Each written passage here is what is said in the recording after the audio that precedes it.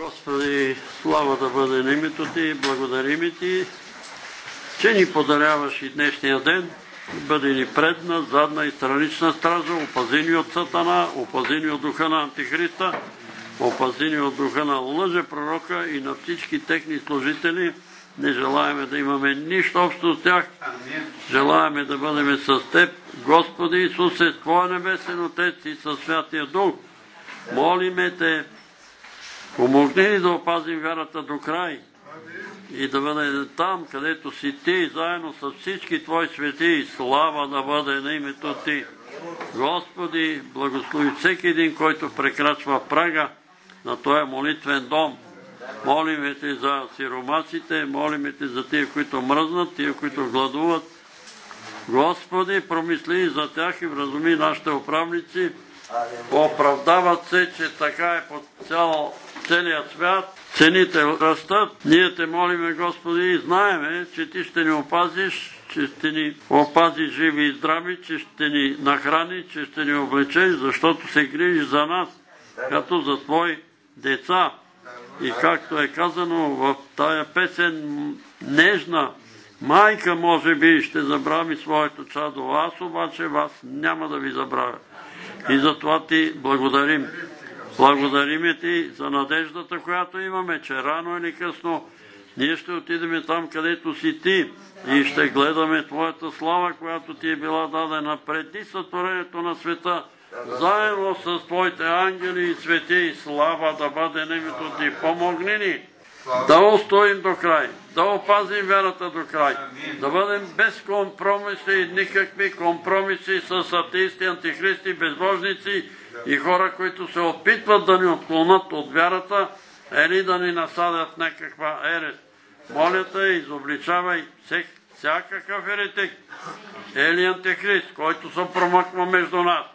Моля те за тия, които ни кълнат, не случайно ни даваш тия откровения магиосници, сатанисти, окултисти, шамани, които се промъкват по църквите. Сега ги предаваме на сатана, за да се спасат душите им и всичките им клетви да се върнат с тройна сила върху главите им, за да се покаят и те, за да не горят във вечния огън. Молиме те, благослови това наше събрание, бъди между нас, ръководини, насърчавани, изобличавани, поправени души святи. Особено те молиме тези, които са атакувани директно от лукавите сили. Разбържи ги, освободи ги, изцели ги, помилвай ги. Господи, освободи ги, защото Ти си освободителя на духовните роби. Амин. Ти обикаляше Галилея, Юдея и Самария и развързваше, освобождаваше насилваните от дявола. Затова те молиме за всеки човек, който е насилван по един или друг начин, или лъган, или мамен от лукавите сили, да бъде развързан, освободен и целен. Защото когато синът освободи, той ще бъде наистина свободен. Бъди с нас, благослови това наше събрание и ръководи ни души святи. Поклон на святото ти име, свята Тройце, Отец, Син и Светия Дух. Амин. Имаш ли нас? Значи да, като каза за управниците, чувам. Трябват справедливи закони. Това го чувам. Ние го правиме това, обаче вие идвате тук и казват да се молиме за еди кой си, който е болен от рак. Вярва ли ми? Майче вярва. Знаете какво правите? Товарите църквата. Човек, който не вярва, не ми го предлагайте да се молиме за изцеление. Той се е разболял, за да повярва. И Бог прави така, че да може той да се спаси. А вие искате да бъде изцерен и да отиде в ада. Дойдеха у дома цяло семейство от Монтана. Всички работят, бащата, сина, снахата, дъщерята, работят в, работеха в Кремихоци, но всички болни. Вярвате ли Бога? Да, вярваме. Ходите на църква, къде ходи? Православната църква. Добре, ходите на църква. Айде сега повторете сега. Първо бащата. Кръвта на Господ Исус Христос ме очиства от всеки грях и в Неговите рани аз съм и царен. Кръвта и до там. Леле, как не мога да го кажа, ама аз вика съм притеснен сега и за това е така. Викам, не си притеснен, сега ще види, че не е така. В София има много превозни средства, но аз предпочитам да пътувам с лека кола. И спея го. Викам, притеснен ли си? На Витош има много дървета, но само някои от тях дават добри плодове. И спея го и това. Айде отново. Кръвта на Господ Исус Христос ме очиства от всеки грях и в Неговите рани аз съм изцелен. Не може. Айде, викам, ти си православен християн, нали? Да. Прекръсти се и кажи, в името на Отца и Сина и Светия Дух, Амин. И той, в името и замлъкна. Викам, човече, защо ме лъжеш, че си християнин? Защо лъжеш? И той, знаете ли какво отговор? Ако не бехме те излъгали, ти нямаше да се молиш за мен. Ама като се моля, няма резултат. И нема и да има. Нема и да има. И не, моля ви се, не предлагайте неверващи атеисти тук да се молим за изцеление. Нема да стане. Първо няма да стане, а Господ може да ни удари. И затова и брат Христо, тия дето ги предлага, той ще си се моли за те. Извинявай, брат Христо, не ги знам, те са добри хора, а аз познавам много добри хора. Обаче, ако този добър човек не вярва, ако този човек не вярва, познаваш ли ги тия хора? Всичките до един. Алеша го познавам от, от интернет. Твърди, че е православен, че Ема, твърди, твърди, ама ние се товариме църква. Всичките други са, лично съм ги виждал. Да, и казват, че са християни. Как казвате? Аз ги предлагам за това молитва събрание, не на тебе, пред Бог ги предлагам. И ги предлагаме, но за изцеление няма да стане. Товариме се, разберете ме. Разберете ме. Вие не го разбирате това. Във вторник Гинка предложи нейния а, брат, вярваш. И за това, за което аз се молих за него, ме удари мене. Вие разбирате ли го това? Не го разбирате. И нема и да го разберете. Величко Велек, пастир, да се молим за тази сестра от нашата църква. И аз полагам ръца и тук, като ме удари, надува ми се ръката. Брат Павел Игнатов, болът, един болен от рак, носят го на черга, долу в Христовотив. Брат Павле, имаме откровение да положиш ръка. И аз вика, положих ръка и като ми се наду ръката и оттам пирогов. И оттам пирогов. Разберете ме, не може, не вярваш човек да полагаш ръце. Разберете го това един път за винаги. Сто пъти го повтарям тук. Мене ме тресна главата 8 дена. 8 дена. 8 А дена, защо? пъти. А защото брат Никола да ме чуе, той ни слуша в Чехия. Брат Панчо има дарба да, на изцеление, да полага ръце и да гони духове, така ли? Жена му, жена му. А, жена му. Жена му. И тя има откровение. Молете си се, полагайте ръце, но на мене аз искам този човек да го попитам, вярва ли в Бога в името на Исуса и ако излъже, заминава си. Кажи, брат ми. Брат Петре, нали, може да бъркам, аз Да. трябва да откажа, да го изповядвам. Не всеки човек има право и а, може по-скоро да полага ръце. Благословен. Ти, и, момент само, какво ще го кажеш? Ти имаш лично ръководство. Няма се безгордееш, ти е казано, полагай ръце. Аз нямам такова ръководство. И затова ги водиш при мен, аз да полагам. Не, брат Петре, не. Аз не казвам да полагам. Нали, едно е да се молиш, друго е да полагаш ръце. Нали? Има разлика. Има разлика. А, е това е. Кажи, брат Тодор. Можеш да се молиш за всички човек. Хора, които имат благословение за това, да вършат това или онова. Дар, благословение. а, дарба, дарба, дарба. Дарбите и приземът са неотменими. Така пише слово. Това Обаче, аз нямам така дарба да ми сега положи да ръка на брата. Да, дарбите са на Святия Дух. Дарбите са на Святия Дух. Той изцелява. Аз не съм изцелил човек от крема, сто пъти ви казвам. Святия Дух ги изцелява в името на Исус. Когато се изпълни условието, което Господ не може да полагаме ръце и апостол Павел пише на Тимотей. Не полагай привързано ръце. Защо го говоря? Не полагай прибързано ръце. Какво означава? Попа, разпитай човека. Вярва ли, не вярва ли? Ако не вярва, ще му кажеш, покай се.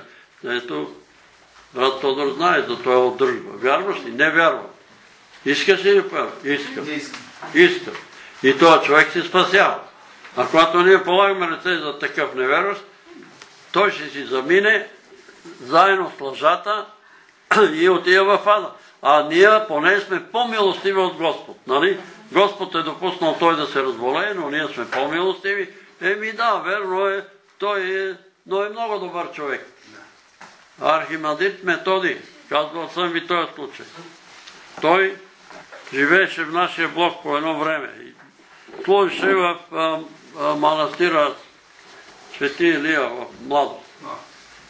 И сядаме на пейката и си говорим. И вика, много съм болен. Всичко ме боли. Разни стрели по гърба, по краката. Вика, моля ти се, моли се за мен. И аз се моля. И сънувам, че пред хотел Хемос, едно блато там, един джол, и архимандрит Методи там затънал до колене, и шест дяволи, шест, преброй го бият с камшици. И аз се моля и питам, Господи, защо си допуснал твоя служител да го бият тия дяволи? Защото се е молил за атеисти, които са невярващи и е казал, Господи, аз взимам техните грехове върху себе си. И в съня аз питам, Господи, ама той защо, нали ти си умрал за греховете ни, откъде на къде ние ще взимаме грех? Така е. Казвам ви това, което съм чул. Така е, но архимандрит Методи не мисли така. И се идва там на пеката и му казвам, дядо Методи, сънувах много интересен сън. И той казва, така е, брат, така е. Ама ти разбираш ли, бе, тия хора толкова добри, вика, ама не верваш. Ама толкова са добри, аз казвам, Господи, ма те са толкова добри. Аз имам греховете и върху мене и цери ги. Взимам греховете върху мене. Нема да ги цери. Не мога да вземеш греховете. Като искаш да им вземеш греховете, вземи ги. Ама ще ядеш бой вместо те. Не става така. Ама те са много добри. Множеството са много добри. Народа казва, доброто е враг на най-доброто. Доброто е враг на най-доброто. Пияници, блонници, правоводей, мръсници, такива, затънали, наркомани, изгубени, като разберат, че има спасител, се фърлят и се спасяват. Другите добрите, е, за кого ми е на мене Христос? Аз съм си добър, никога не съм обрал, никога не съм направил еди коси, никого. И ако каже пък, че нищо не е сгрешил, натрупа жар на главата си и Божия гняв е върху него. Така че много ви моля, не ми предлагайте хора, които не ги познавате, да се молиме за той и за оня. Не ми предлагайте също сега. Съжалявам, нали? Молиме се за брат Илия Миланов, Бог да го и цари, имал проблеми с черния дроб, опериран простата жлеза и не знам какво друго. И една сестра след молитвата, долу, идва при мен и вика, не е верно, брат Илия Миланов си е здрав, той си проповядва и така нататък. А защо ние се молим? А защо дойдохте и казахте да се молим за него? Защото в некоя църква били казали, брат Илия Милано има рак на простатата и на черния дроб да се молиме за него. И вие оттам идвате тук да се молиме, ама дали е верно това? Дали е верно? Прочели си го в интернет, брат Петра. Там е всичко е... В интернет си го прочели, там е всичко е, е истина. Е, ви пуснали са го в интернет, обаче сега казва, че не е имал никакъв рак. Ама, И нали, сега кой е виновен? Антонио, И ние се молим. Антонио имаше някакво видение. Еми, Антонио му казах да му го каже, не на мене да го казва, защото той е видял, нали, Илия Миланов играе баскетбол, скача много високо, пуска топката и като слиза надолу се закача тук на коша, на желязото и, и виси така. Викам, кажи му го, кажи му го. Ама не ми е удобно. Ама, кажи, ама на тебе ти е дадено, ако на мен е дадено, аз ще му се ще му кажа. Кажи му го, той има нещо, което трябва, той си знае. Всеки си знае. Нали? Един брат Иван казваше на веднъж, веднъж там на Бачо Киро пастира се величаваше до небеса, само ние 50-те сме запечатани Святия Дух, така, така, така, така. И Иван от Герман на вратата му вика, ако дойде Исус сега, с една джостерица вика, И като почне от тебе там от Авона, и като ни издърнка всеки един от нас, ни издърнка по главата, всеки един от нас ще знае защо е ударен. Верно ли е, брат? И той вика, абе, верно е, брат, ама все пак ние, нали, имаме Святия Дух. Ами имате Святия Дух.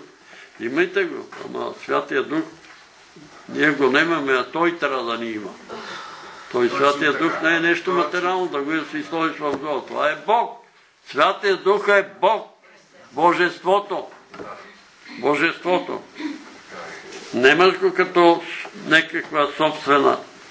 Добре, разбираме се. Моля ви се, като искате, питайте този човек, вярваш ли в Бога? Искаш ли да се молиме? Не вярвам. Той, който умира, всеки ще каже вярвам.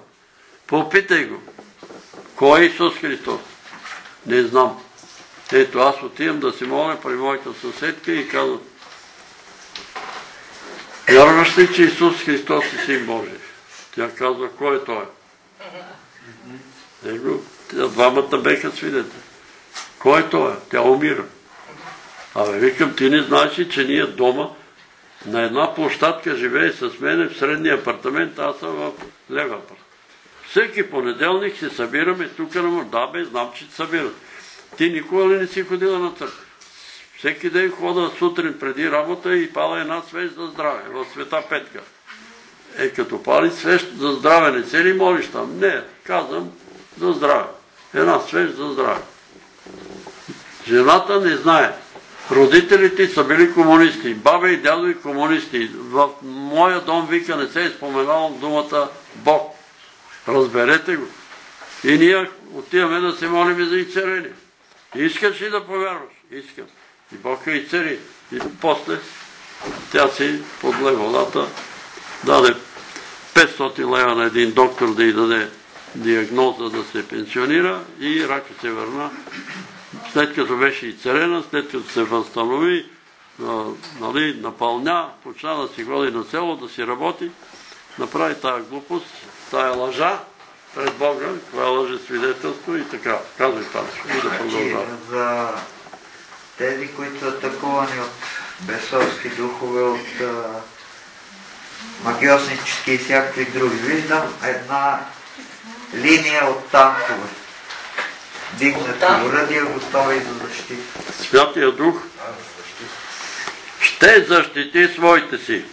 Магиосници, шамани, сатанисти, чакави вечна втората смърт. Вечният огън. Но още от тук ще усети Божия гняв. Защото те се промокват по църквите, сатанисти, които са се изповядали, са изповядали, че отиват по църквите, застават в ъглите на църквите, един е вид, другия, другия, един трети, четвърти, и когато хората се молят, те кълнат. За да може вътре да стане бъркотия. Война, духовна война. И воюват. Ама воюват и, и ангелите воюват. И ангелите воюват и ние знаем, че кой е победител. Кой? Исус. Исус е победител. Но тия неща ги има. Бог предупреждава. Ще те удара и ще те убия. Стрелят по мене един, втори път. Страна Снежана вижда, че стрелят по мене. Какви сте тия стрелби? Клетви. Но ще се върнат на главите им. Аз им казвам. Не се занимай. Нема да стане. Обажда се по телефон. Трябва да спреш да проповядваш, да станеш учител. Да се занимаваш с учител. Когато Бог ми каже на мене да спра да проповядам, тогава. Нали? Ето, брат Кирил е тук, той е имал сън, кой да проповядва. Затова внимавайте с тия откровения и с тия видения и с тия внушени. Кажи на Петър Велев това да спре да проповядва. Ама може да те убият. Еми, ако ме убият, колкото ме убият. Ти, дето ми говориш, вечен ли си? Нема ли ти да минеш, да заминеш в този свят? Всеки ще мине, ще си замине. Но нема да ме убият, защото Господ ще ме опази. Господ ми е казал, излез и говори на този народ. Защо аз да говоря? Защото ти добре ме познаваш. Един идва и казва, нема да говориш. Ще говоря. Забранявам ти. Не мога да ми забраниш. Не може да ми забраниш. И така става, че не може. Ето, аз ви казвам. Добре. Продължаваме да изпълняваме Божията воля, каквато е Неговата воля, так това ще бъде. Сега ще пеем и понеже някои са се обадили на сестра ми, че много продължава нашето събрание, може да го намалиме малко, по-малко ще пееме, по-малко ще говориме. някой ти е казал да спреш да проповядваш и да, да станеш учител, така ли? Да. Откровение на трима души. На трима души Бог е дал. Петър Мелев да мъкне и да спре да проповядва. И откровения Да изпитват духовете, това е. Да, да. На първия Вселенски събор се събраха апостоли и решиха да кажем на езичните да не ядат кръв отдавнина. Кръв отдавнина да се пазят от блудство и да не правят на другите това, което на тех не им е приятно да правят. Това е кръв и отдавнина да не се яде. Сега, само предупреждавам. Има един човек, който са се молили, ако не се лъжа, при Пламен Петров, и той е паднал и е започнал да горохти като прасе. Като прасе. И след като се е съвзел, са го питали, имаш ли нещо общо с прасетата? Нещо общо с прасетата, защото ти грохтеше като беше тук в Беседане като прасе. И той казва, ние отглеждахме прасета. Когато баща ми колеше прасето, завива му ножа във врата и източва кръвта и ни събира децата и по една чаша кръв от прасетата пиваме по една чаша. И бехме много здрави. Ние не помниме некога да сме се разболявали. Баща ни ни поеше с такава кръв. Тая кръв, в тая кръв има живот. Има душата на прасето е в кръвта. Разбирате ли какво ви говоря? Душата на вола е в кръвта, душата на козата е в кръвта. И затова Денек Принц казва, че е бил на едно събрание, където некои грохтели като прасета, а други кукуригали като петли. Той, дето е кукуригал като петел, е ял петел заедно с кръвта. И затова кукурига като петел. Разбирате ли какво ви говоря? Сега, апостолите не са били по-невежи от днешните специалисти, за да каже да не се яде кръв, да не се яде удавено. Защото удавеното кръвта му е вътре в него. Кръвта му е и два случаи имам. Единият случай е една съседка ми носи корбан. Какъв е това? Ми една овца вика, заклахме, обаче Господ ме предупреди предната през нощта. Кажи на баба ти Райна, всичко това да се пърли на болището, на Боклука.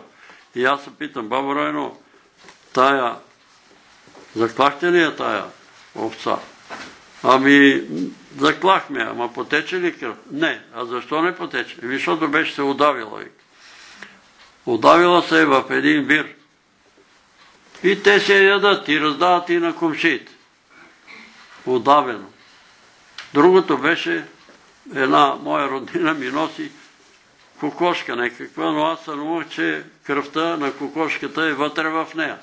И аз се питам, Елио, ти като заклали кокошката, заклах я, а потече ли къв като я закла? Ами почти не потече. И къвта е вътре в нея. И затова не знам защо, явно вярвам, че Святия Дух ме нуди, много хора по църквите са демонизирани и насилвани от лукавия. И причината е, че ядат кръв, че ядат кървавица. И Бог ще го освети. Това, което Бог е казал, Словото няма да си промени Словото. Аз ще ям кървавица и Бог ще я освети. И аз, и после ще кукуригаш. И оттам идват проблемите.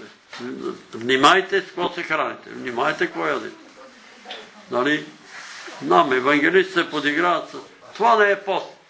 Това, дето правят, вика православните, това не е пост. Да не ядат 40 дни, да не яде месо, да не яде животинска продукция. После, Пророк Данаил пости по този начин и беше и по-умен, и по-красив, заедно с тия младежи и изпълнен с Божия дух.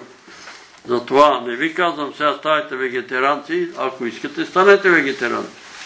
Но внимавайте с какво се храните. И четете това, което го купувате. Ето, това е един случай, нали? телешки салам. И чуй хората, е, много телешки салам. То няма никакво телешко месо Нема един грам, нема един процент телешко. И са написани теле. Какви са тия? Ми лъжци са. Къде ще бъдат лъжците? Ще видим след малко в Библията. В огненото езеро. Сега да пеем някоя песен. 435. 435. Писанът плъскав, красив и голям. Не е за мен, не е за мен. Знаят, цената му спада съвсем. Не е за мен, не е за мен. Бисерът лъскав, красив и голям, не за мен, не за мен. Зная цената му спада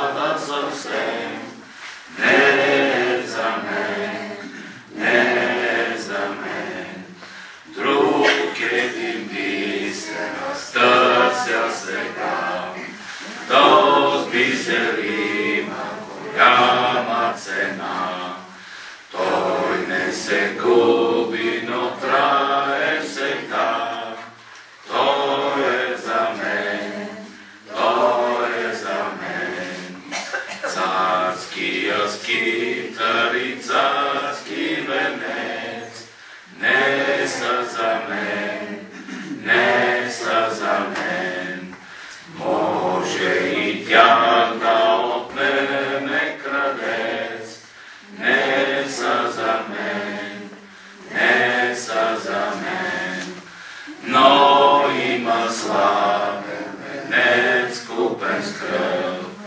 който на тещо живеят в любов. Най-сетне да се даде готов, той е за мен, той е за мен. Пътят широк, който ходи света, не е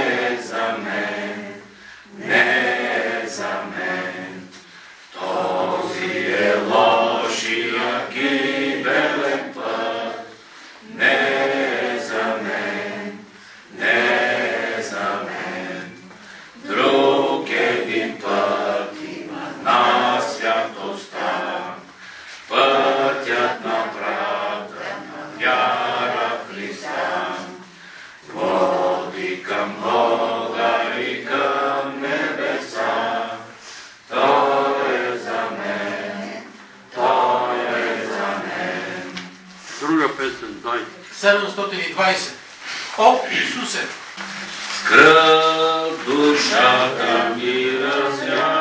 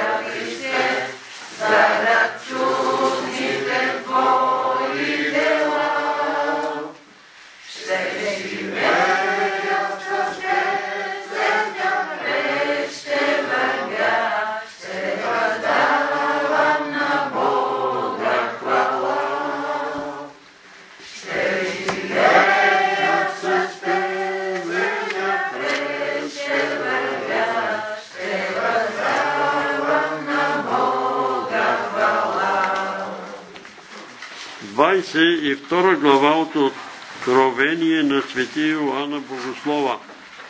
Последната глава на Библията. И показа ми чиста река с вода на живота, бистра като кристал, изтичаща от престола на Бога и на Агнеца. Посред главната му улица и от двете страни на реката стои дърво на живота, което дава 12 пъти плодове, като всеки месец ражда своя плод. Листата на дървото служат за изцеление на народи. И не ще има вече никакво проклятие. Престолът на Бога и на Агнеца ще бъде в града. Неговите раби ще му служат и ще видят лицето му, а името му ще бъде на челата им. И нощ не ще има там, и не ще има нужда, нито от светили, нито от слънчева светлина, защото Господ Бог ги осветява и ще царуват во веки веков.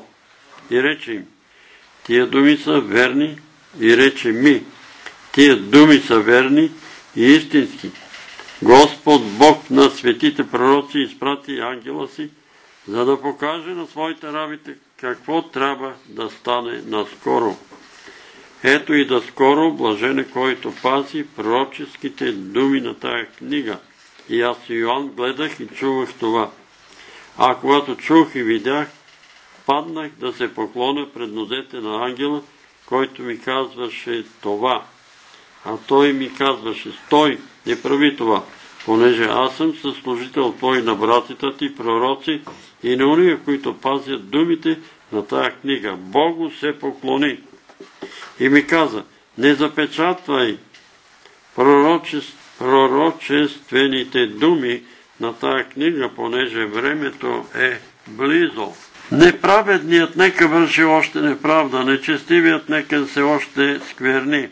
Праведният нека върши още правда, а светият нека се още осветява. Ето и да скоро и отплатата ми е с мене, за да въздам всеки му според делата му. Аз съм Алфа и Омега, начало и край, първият и последният.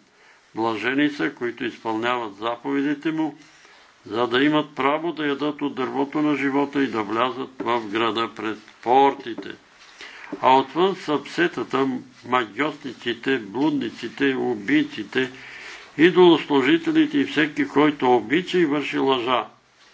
А Исус, аз, Исус, изпратих своя ангел да ви засвидетелства това в църквите. Аз съм коренът и родът Давидов, утрената и светла звезда. И духът и невестата казват, дойди. И който чува да каже, дойди. И който е жаден да дойде и който желая, нека вземе от водата на живота даром.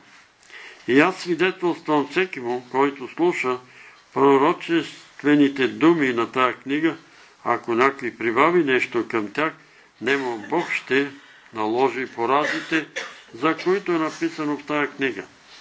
И ако някой отнеме нещо от думите на книгата на това пророчество, Бог ще отнеме дело му от книгата на живота и от светия град и от написаното в тая книга. Който свидетелства за това, казва да и да скоро. Амин. Да, дойди Господи Исусе. Благодата на Господа нашего Исуса Христа да бъде с всички вас. Амин. Така завършва Светата Библия. С тия думи. Благодата на Господа Исуса Христа да бъде с всички нас. Амин. Така Господ дава едно откровение и видение на апостол Ян за това, което Бог е приготвил. Този нов град, в който няма да има жалейка, няма да има проклятие, няма да има болести, няма да има лекари, понеже брат Мартин казва, не искам да уча за лекар, не знам кой иска да учи. Нали, там небето няма да има нужда от лекари. Но няма да има и нощ. Няма да има нужда от да плащаме,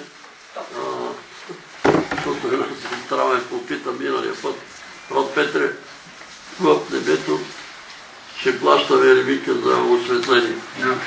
Ще има ли консумативи. Няма да има брата и сестри, защото Господ е нашата светлина.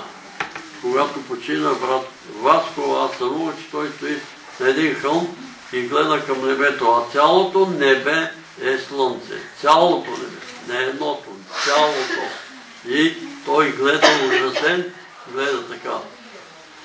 Бог е това, който ще ни дава топлина и светлина и няма да има нужда да плащаме за ток и за вода и, други консумативи и така нататък. Няма да има, разбира се, и пенсии. Нали? Няма да има една 1500 лева пенсия, па другия Петровир беше 110 лева пенсия. Как да живее той 110 лева? Ама какво да правим? Тук на земята е неправда. Тия думи са верни и истински. Бог дава това откровение, за да може християните да вярват, да имаме надежда, упование, че като затворим очи, живота продължава. Живота продължава. Не е само до земята, до тук, този живот. И ние знаем, че тия, които са си отишли, нашите близки, те не са умрали. Почина моя, първо мой братовчет, първи братовчет, и след това един мой колега, Димитър Димитров, ние се молихме тук, не тук, къде на болена ливада, беше болен от рак, Бог го и цари. Поправи се, беше кожа и кости, ходихме с брат Димчо при него, да се помолиме. Молихме се, но след като оздравя, след като се възстанови, отидахме в село Громчин, там се купи една къща, на отборно място, говори там с трактористите, да го издорат, да го подготвят. И тук му дойде съобщение от раковата болница да отиде една химиотерапия. И ние му каза, не отивай на химиотерапия, вече. Не отивай, бе. Пак го посетихме там с Димчо. Сина му каза, е, хубаво го насърчихте. Хубаво насърчихте. И на мене ми се кара постоянно. Вие, вика, вместо да насърчавате Димчо хората, вие само им се карат. Абе, не ви се караме, бе, казваме ви истината, па вие правите какво искате. Ама аз се ядосвам, защото знам какво ще... Абе, Димитре, ядеш ли ям, пиеш ли пия, ходиш ли по голема и малка, хода, ходиш ли, хода, спиш ли, спа. И какво иска? Болейте ли? Нищо не ме Къде ще ходи сега на тази химиотерапия? Не, не, не, не, аз имам доверие на медицина. Жена му зъболекарка и му каза, не отивай, не отивай, моля се, не отивай на тази химиотерапия. И сме свидетели. И какво става? Не, не, не, ще отида. И след два дни телефона ми звъни. Обажда се и сина му, Петър, той е Петър. Чичо Петре, какво Пепи? Ами татко почина. Кога бе? Ами вчера. Какво стана бе? Ами от химиотерапията, там където са го резали, нали, се е възпалило и отишло възпалението на сърцето, гърнало сърцето и край. И край. И сега, сънувам сън, че той се срещна и двамата, и аз работех, ДСО монтажи на покрива на Кезелото и те отгоре по черевините. Аз духом нека ги виждам, че те си говорят. И Димитър казва на върточете. Пепи, абе чу се нещо за тебе. И какво се е чуло, бе? Ами чу се, че си бил умрял. Не е верно, бе, жив съм, бе. Той вика, Тото, викаха му Тото. Ама и за тебе се чул същото. Ама не е верно, бе, жив съм, бе. Това беше съня. Двамата са живи. Затова, когато ме подгониха и се оправиха опити да ме ликвидират в Козлодой на Мездра, а, после с метила и други неща, аз го казах това, молихме се и Теодора, Бог да я благослови, каза, Господ ми каза, веднага напускай работа. Обаче аз се молих и казах, Господи, това откровение, защото от Теодора много пъти е казвала верни откровения. Тук искам да чуете вие, които имате откровения. Верни. Но този път Господ каза, Не напускай. Не напускай, няма да мърдаш. Направиха ли ти нещо, като се опитаха да... Нищо не ми направи. Правят опити, ама нищо. Защо да бъда там? За да може тия двама колеги да са живи. Не са умряли. Заминаха си, погребахме и ги отидаха си. Но те са живи, при Бога са живи. Защото плата нищо не ползва. Душата е тая, която остава жива. И затова казвам на Ники за майка му, на кой беше там, тук беше дошъл. Брат Иван миналия път, майка му почина. Те са живи. Те са християни, те са живи. Никой, който дойде при мене, няма да го изпъда. Никой, нито един. Ма аз съм много грешна, знам, че си грешна, ма Бог е дошъл за грешните. Той дойде за грешните, той дойде за светците, а дойде за грешните. Вярвайте на тия думи, да опазим вярата до край. Но внимайте да не почнете да проповядвате някакво лъжливо учение. Или да почнете да казвате, абе това откровение е да се махне от Библията. Да, какво пише тук? Ако махнете едно, една глава от това откровение, какво ще се случи? Ще ви задраска Господ от книгата на живота. Ето как може да си загубите спасение. Като кажа, това не е важно. Ма и това не е важно, и онова не е важно. Това не е важно, и онова не е важно. А всичко е важно. Всяка дума в Библията е важна. И аз Йоан гледах и чувах това. А когато чух и видях, паднах да се поклоних пред нозете на ангела, който ми казваше това. А той ми каза, стой, не прави това.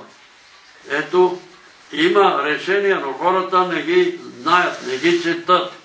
Особено протестантите не ги интересуват, забрали са там някакви православни старци и решили това и онова. Те са решили много важни неща. Решения на Вселенските събори. Не призовавай ангел или светия. Не призовавай името му. Не го викай. Не го викай, защото няма да дойде ангел. Ще дойде друг, който е до тебе и те чака да те излъжи. Не го призовавай. Какво казва тук ангела на Йоан? Стой! Поклони се Богу. Не се клана и на ангел. Не се клана и на ангелите. Не се клана и на... А ние ще почитаме, ще викаме, ще се молиме. Може ли да се молиме на ангела да ни пати? Можеме. Можеме да се молиме на светията и да му благодарим. Можеме. Но не можеме да кажем свети Йоанне или свети Еди кой си ела да ме открими. Защото така са се откривали на Ванга. Такива свети. Йоанн Кръстител и се открил на Ванга, тя го извикала и започнал да й говори, нали, и започнал да й говори, че Бог нема Бог, че Бог е някаква червен облак, не знам, пълни глупости. Това Йоанн Кръстител може да го каже. Може да го каже. Милион и половина, некой числил там преподавателя от Велико Търновския богословски факултет, че над един милион и половина българи вярват на Ванга. Вярват на Ванга. Защото и говорил ангел, или говорил Иван Кръстител. Никой ангел и никакъв Иван Кръстител не е говорил. Говорил е демон. Говорил е дявол. Това е истина.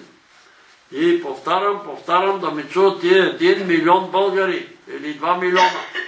А аз от устата на Господ Исус Христос чух от устата му. Между мен и Ванга нема нищо общо. Това са две съвсем противоположни неща. На атеистите и антихристите. Ванга не им пречи, но аз им преча. Да познаете защо са противоположни. Кой е духа в ангел? Духа на антихриста. Духа в Ванга е духа на антихриста. И тия, дето ходят там и легат на гроба и се молят да дойде Ванга да им помогне, се товарят с бесове и товарят и домовете си, товарят и децата си. Нямате работа там. Ето на ангела, който е донесъл откровението, той казва на Йоан да не му се клана на него, а вие търчите там на Ванга. Да призовавате Ванга. Не можем да ги призоваваме, казвал съм го, той е случал един а, клисар от Враца, се молил дълго време да му се яви Света Богородица. Вие знаете, аз съм, сестра ми ви извадила, за вчера е било празника на явяването на Света Богородица в Лур, на католическата църква. Аз го вярвам, че тя се е явила на едно козарче.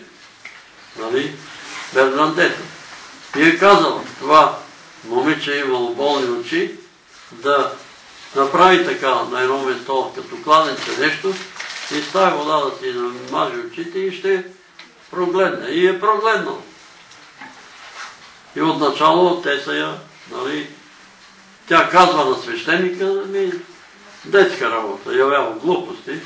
Казала на кмета и той глупости, глупости, обаче тия глупости се оказват. Сега знаете ли кой е в Лур? Една сестра ми писа е ходила в Лур, нали, хората са направили там, аз го чух от устата на едно момиче, е, Майя се казваше това парализирано момиче, те отидаха в Лур с майка си и са видяли парализирани и ги потопяват в някакъв...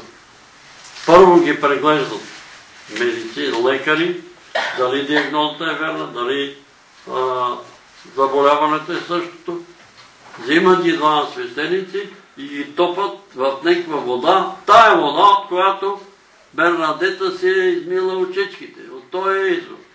И вика, видяхме с очите си паразина, хора, които скачат и рипат там около басейна и церен. А тя не получи и церене, май. И аз се питам, Майя, какво направи ти, когато те потопиха в водата?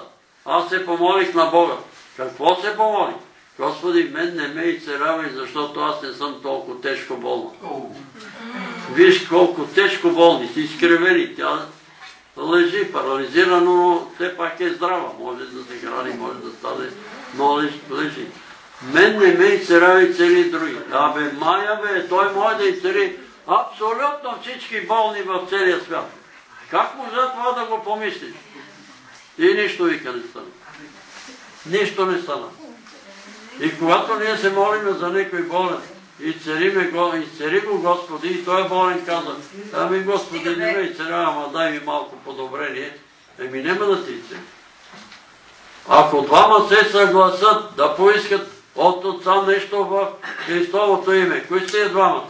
Болният и той, който се моли за него. Те трябва да бъдат съгласни. И един и другия. Ако единия се моли и цели го и другия, няма да ми цели, няма да ти цели. Ако той е болния вярва, он ми вика, бе, дай да отбиеме номерата, го помажеме тук да се помолиме, пак няма да стане. Трябва да вярваш, че Бог иска да го изцели, че може да го изцели. Ама той е много грешен, ама не има грешен, бе. За Бога, какво е твоите грехове, какво представлява? Какво представляват за Бога твоите грехове? Нали за това е дошъл Исус. И така, има решение на Вселенски събор. Не призовавайте ангели и свети. Не ги призовавайте да дойдат да ви се явяват, защото няма да ви се явят. И този, нали, от врата, Света Богородица яви ми се. Света Богородица яви ми се. И един ден отварям църквата, сутринта, мете там, нали, готово е всичко, запаляне, се почва служба, Света Богородица ви ми се отваря се вратата от ултара и излиза една много красива жена. Той пада на колене, поклана и се и като поглежда нагоре, гледа, че тя държи в ръката си цигара. Сатана, аз не съм те канал теб. И пита там, на свещеника, Бог да го прости Николай, нали, той, той е свещеник. Пита, вика, кой ми се е явил? И явил ти се е дявол. Защо? Ма не може да вика света Богородица, да дойдат и се яви на тебе, човече. Или Исус е елал да ми се явиш на мене. Кой си ти? Какъв си? Какъв си ти? И ще ти се яви някой демон там. И ето тук, не призовавайте ангели да ви се явяват. Не при една сестра се моля дълго време, стара Мария, не тая Мария, да не помислите друга Мария, защото и на нея викаме Марето. Марето, Молила се, Свети Йоанне, моля ти се да ми се явиш и да ме ръководиш. Свети Йоанне, моля ти се и сънува Свети Йоан Богослов. Какво искаш? Ами ти да ме ръководиш, ти да бъдеш всеки ден с мен, ти да ми помагаш. Той казал, не мога. Как да не можеш? Ти си любима ученик на Исус. Дали ти беше при Исус? Как да не можеш? Не мога. Една българка иска да бъда всеки ден с нея. Една русина иска да бъда всеки ден с нея. Една гъркиня иска да бъда всеки ден с нея. Аз не мога, аз мога да бъда само на едно место. Къде може да е? Там, където ми каже Господ. Изглежда, че там ще има някаква, ще имаме някаква служба. Не дайте да мислите, там ще лежиме, само като идем едно свет, от сянката на хубава сянка и до нас печено прасе и червено вино и това е, това е рая на мюсулманите. Пила, баклава и 70 девици танцуват пред него, това е рая за тях. Няма ядене, има работа и там и сега ще стигнем до там. Там имаме задължения. Затова не призовавайте, няма да ви седе, няма да ви се яви ни ангел, ни Йоанн Кръстител, ни Света Богородица. Няма да ви се яват. Те може да се яват. На некой. На некой свят. Кой? На кого ще се яват? Нали? Помислете си какво пише там. В блаженство. Блажени чистите по сърце. Какво ще видят? Ще видят Ще Бога. видят Бога. Те ще видят Бога. Той, който е чист по сърце, на него може да му се. Да ми се яви Господ до не знам колко минута, нека четех някакво свидетелство, кой беше го казал. Ако не, Паус ли беше? Кой беше Не. там? Този италиански фашист, а, А, Мусолини. Мусолини се качил на Монблан некъде и забил там меча си на върха и казал до 15 минути да ми се яви Господ. Ако не ми се яви, той не съществува. И ще му се яви ли Господ? Е, сега го е видял. Само, че го гледа некъде отдолу от огън. Да му се яви Господ. Нали? До 15 минути да ми се яви Господ. Няма да ти се яви. Тук ни смущава нещо, което но така казва и така трябва да правим. Не запечатвай пророческите думи на тая книга, понеже времето е близо. И сега, неправедният нека върши още неправда. Това, това е. Бог оставя света да прави кой какво си иска. И сега некой ми каза, че човека немал свободна воля. Човека има свобода. Може да върши неправда, може да върши право, може да суд. Нечестивия нека се осквернява. Праведния нека върши още право. Светият нека се още осветява. Защо? Защото ние се опитваме да променим хората. Не можем да ги променим. Не можем, разберете. Само Бог може да промени неправедния. Само Бог може да промени нечестивия. Не може. Ние се опитваме и викаме, този човек сега ще му помогнем, ама вие защо не му помагате? Ама не може да му помогне. Ето отидахме с брат Дипчоп и Мартин да му помогнем. И той казва, фърлих дрогата.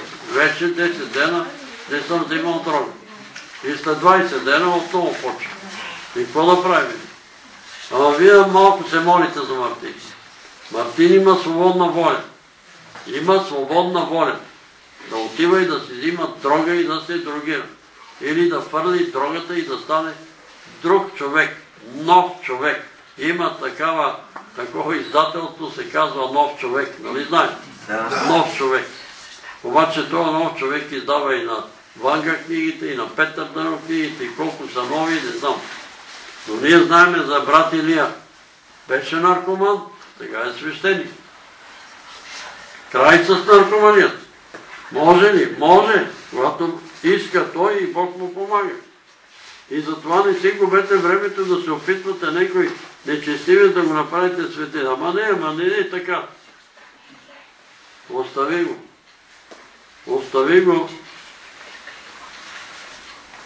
праведният да продължава да върши правда. А не аз съм вършил толкова праведни неща, аз това съм направил, аз си направил. Нищо не си направил. Без мене нищо не може да свърши. А святия нека още се осветява. Аз съм Алфа и Омега, началото и края, първият и последният.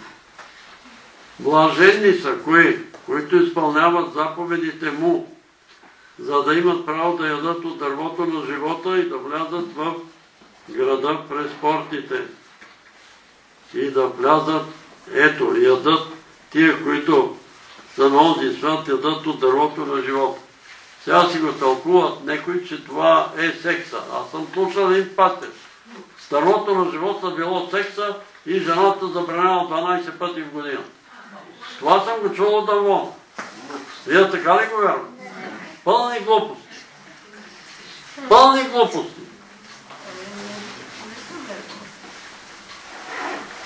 Жалко е, че след това Господ ми говори за това пастир, той си премина, Бог да го прости, ама каза, ангела ми каза, не можа да влезне в небесно царство. Защо? Защото говори измисли. Тук така ли го пише? Така ли пише? Или пише дървото на живота? И че ангелите ядат ангелска храна. Има нещо, те ядат някаква храна. Каква е тази ангелска? Не знаем. Кой е това дърво на живота? Исус. Може да е друго, нещо, но има и такава река. Бистра. И ние го вярваме това както е. Не може да го изобачаваме. А вън са сетата. Кои са сетата? Тия, които се хапят едни и други. Тия, които обичат да хапят и хапят с стихове от Библията. Но това много ви моля, внимавайте. Внимавайте. Майка ми някога е сънувала сън, че двама мъже върват с нея. Двама мъже, един от лево, един от, дясно. Но като е погледнала, един е видяла, че това е баща ми. Погледнала, от другата пак баща ми.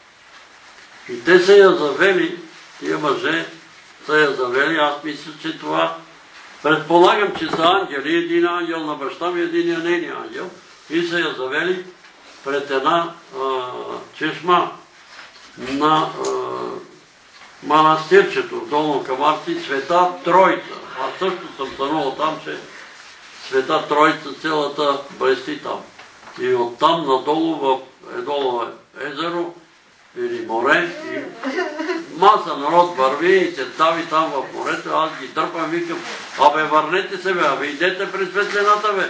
Обаче те не ме чуват. Лицата им сиви, дрехите върват, не ме чуват. Ужасих се, като разбрах, че тая тълпа са движещи се мъртъвци и затова ето света. Пълно е с движещите по улица мъртъвци, които не са повярвали, не искат да повярват. И не искат. И какъв е този сън, който ви казвам? Там към Светата Тройца пътували хора с Библии в ръцете, а други заедно с хората вървели кучета с Библии в устата. И тя е попитала тия мъже, кои са, какви са тия кучета? Това са християни, които изучават Библията, за да се хапят едни и други. Чувате ли ме добре? Да се хапят с стихове от Библията. Четат Библията, да, тия са такива православните, ония са па еднакви, па тия па адвентистите, па католиците, те са за ада и така нататък. И четат. И когато, когато са стигнали горе до Света Тройца, там е имало а, една чешма. И един от тия, които са я придържавали, баща ми, нали, тя казва, е извадил от пазвата си една златна чаша, налел и от водата и е казал, пи. Но след това тя се ужасила, като видяла, че идват хора, които носят със себе си човешки черепи. Човешки черепи, направени като чаши. И от тия човешки черепи си сипат от водата и пият от тая вода. Може ли да изтълкувате това видение? Знаете ли какво ми казаха там светците на Бачо Киро? Това, той е сън на майката и от дявола. Вие вярвате ли, че е от дявола? Кои са тия, които пият от черепите? Това са тия, които четат доктрините, преработеното Божие Слово на 50-та доктрина, на баптистската доктрина, а, как се казваше той на 50-та Динко, дето го цитираше, много важния. Динко. Да, Динко Грудев. да, А, Джош Макдуел. Джос Макдуел. Знаете ли, майче, не, Той ли? не, не, а, Макдоналдс, да. Мак, Мак. Той е, той е. Между другото, в неговата книга, тя е основна книга за а, 50-те християни. Има някои неща. Той говори също за братята и сестрите на Исус. Какво е това? Какво е това? Осквернен череп. И вие пиете от този череп и се осквернява. Ама Магдула е казал, че той има брати и сестри. А може да е казал, ти се оскверняваш. Има Слово Божие. Имаш Божие Слово и там пише, там на кръста беше майката на Яков и Йосия. Край. Нема какво да търсиш черепчета да ти обясняват дали имала тя други деца или не имала. Край, до тука. Ето това са хора, които са осквернили същото е с тая, Библия, дето ни показа тук Гергин. Нали? Виктор Вирчев, моето уважение, Бог да го прости, от дете го познавам. Коментар на Виктор Вирчев. Тя ги е родила. Е, тя ги е родила, сега е видял дали тя ги е родила. Дали тя ги е родила. Какво е това? Оскверняване. Оскверняване. И тия хора, които слушат такъв проповедник, по телевизията ли е, на Амбона ли е, и той ви говори за майките, на майката на Исус, че е родила пет дъщери. Ако вие го повярвате, вие пиете от черепчето, осквернено Божие Слово от черепа на тия хора. Осквернено. Той е сън вика на майка ти от дявола. От дявола ли? А тия, които цитират, цитират, цитират, цитират, учат, учат, учат стихове на Изус, за да могат да се хапат едни други и да се бият едни други, какво става? Ето ги. Ето ги тука. Как ги нарича? Сетата. Злите работници. Злите работници. Ето ги злите работници, които сега в Стара Загора ми пишат там хората ви и се обаждат, казват тука. Ако не приемеш това учение за братата и сестрите на Исус и не, приемеш, че хляба е квасен и виното е сладко, не можеш да участваш в Господната търпение. Не можеш да участваш. Трябва да си дадеш и да попълниш декларация в първа точка трите имена, къде живееш, къде работиш и заплатата, каква заплата или пенсия получаваш. И ако не даваш десята в църквата, може да ходиш на църква, но не имаш право да участваш в Господното търпение. Ако не даваш десятък.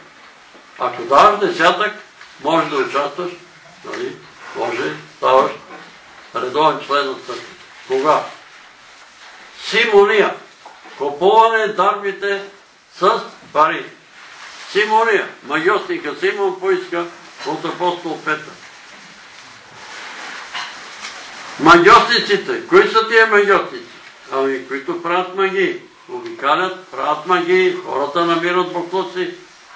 Може би около, да не кажа голема дума, ако ги избра около повече от 10, може би около 20 яйца са намирал на село. Първото беше на Антонио. Копна там в градината, вика, не си си извадил картофите. Какви картофи, бе? Взема го яйце. Заровили се го там до орека и аз като копам да се оскверна с яйце. Влизам на вратата яйце. Влизам вътре, Димчо беше с мене.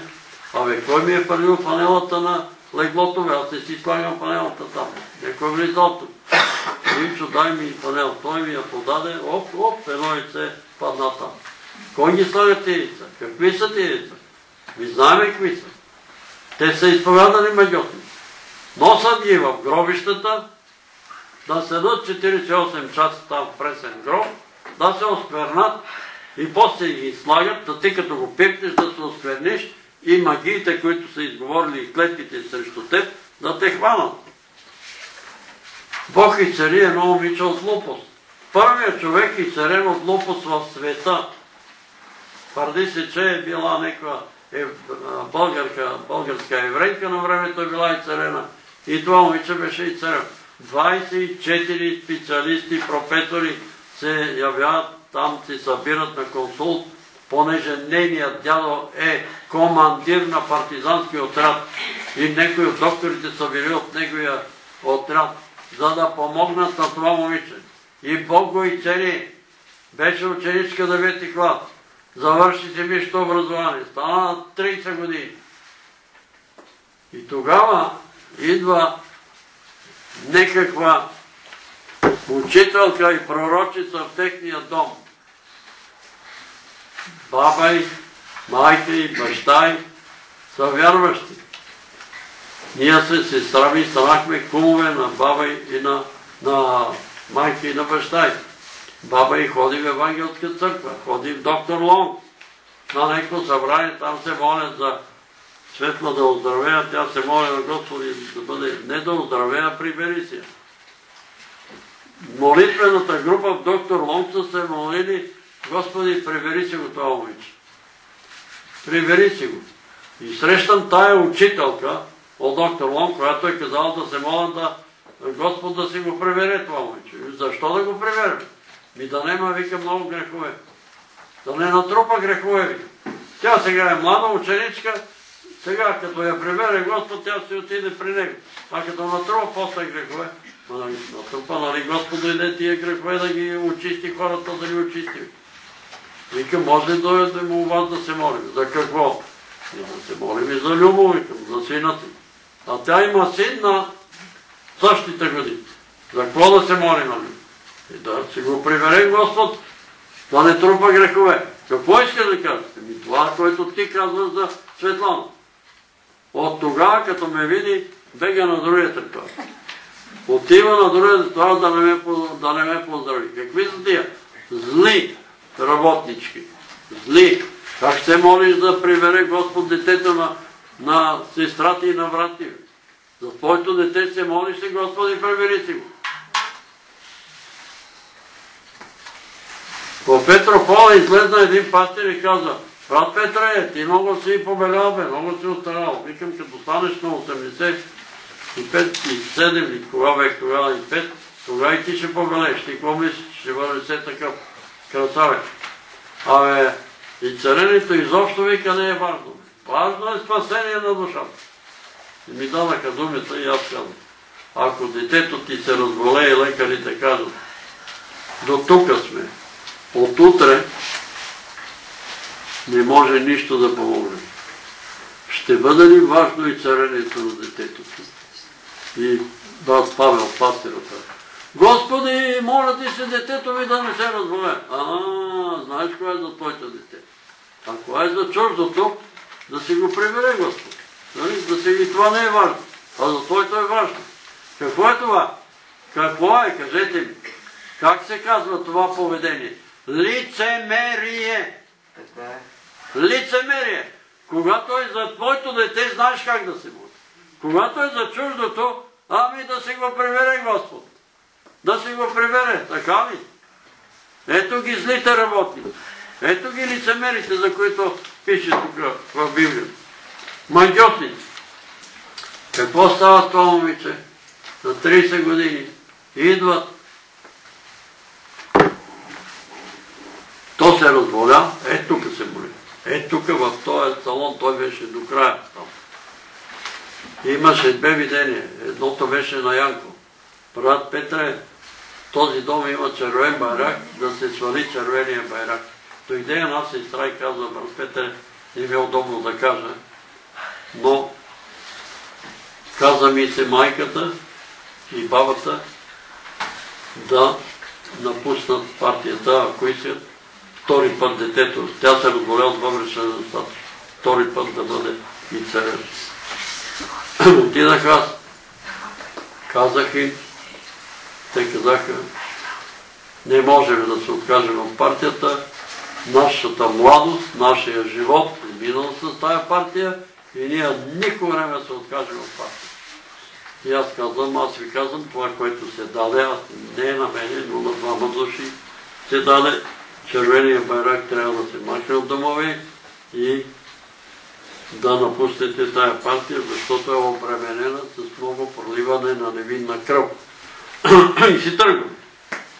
И момичето казва на майката, майко настигни Чичо Петър и му кази, че се откажеш от партията, защото силите ме напускат и виждам, че ще умра. Но тя не може да ме настигне, не желая да ме настигне и до сутринта Светлана умира. И на погребението дигна ръцете нагоре, вика към Бога и вика, за какво ми е сега този живот? Защо ми отне детето? Защо? То партията е нейния Бог. Вие разбирате ли го? Това е ли си мислите, ми няма значение. Бог милостив. Като каже едно условие Господ, не го ли изпълниме, няма и царение, разберете. И какво се получава? Идват една кавички, сестра, зла работничка и казва, дай ми един картон, взима един картон, драща, драща по картона, после се вглежда в картона и казва, направено е магия на дъщеря ми и тя затова умряла. Зле човек са направили магия. И сега ние ще разтурим магията. Идете, вика, заровете едно яйце в гроба на Светлана, там където се намира горе-долу сърцето, да седи там 48 часа, донесете ми това яйце и след това ние ще разтуриме магията и нали, Светлана ще се прероди в дете на сестра Сестра ще зачене, ще роди и ще роди Светлана. И тия християни отиват и занасят яйцето, занасят го в гроба, заравят го и донасят яйцето.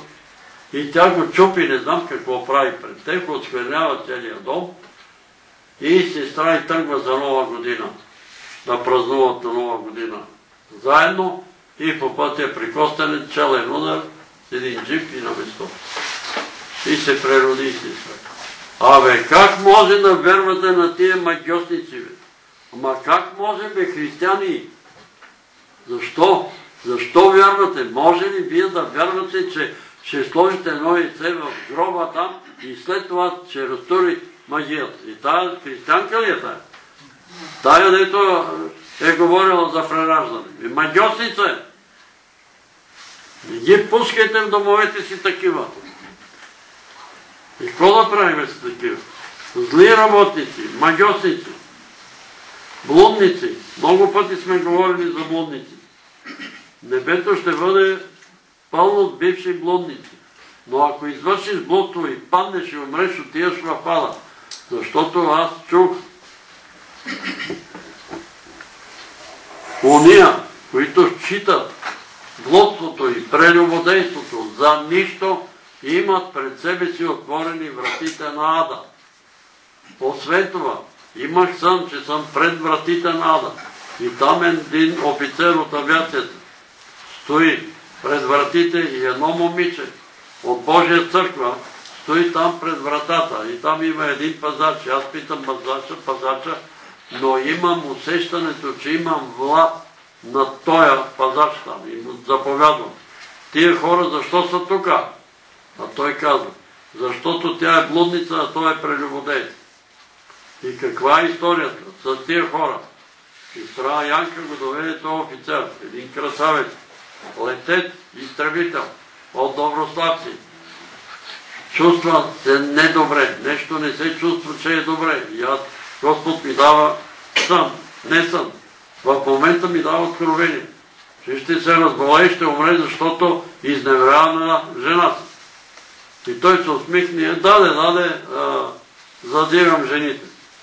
Задирам жените. Ако не се покая, ако не спре, ще се разболя и ще умре. Другото е едно момиче, което от Божия църква, което напусна църквата и тръгна с рокерите. За съжаление има един рокер, който проповядва по тия телевизии. Рокерите. И имахме един брат от баща му беше иранец. И той дойде дома да се молиме за нея на една дреха. Имче го познава. Дон щаб. И той занесе тая дреха в болницата, тя беше в интензивно. И казва, молихме се в дома на брат Петър и помазахме тая дреха. Тя казала, махай се от тук, тая дреха не ме интересуват всички дрехи. Извикай ме еди кой си там от рокерите. И вика, както говориме, както говорихме, това Тълщат ми го казва. И изведнъж това момиче започна да пищи и да вика Ужас, ужас, ужас! И издъхна. Твърдава е милостта Божия. Можеше ли Господ да я спаде? Ма можеше, разбира се. Можеше, ма трябваше да се върне. Отиде си там, където ужас.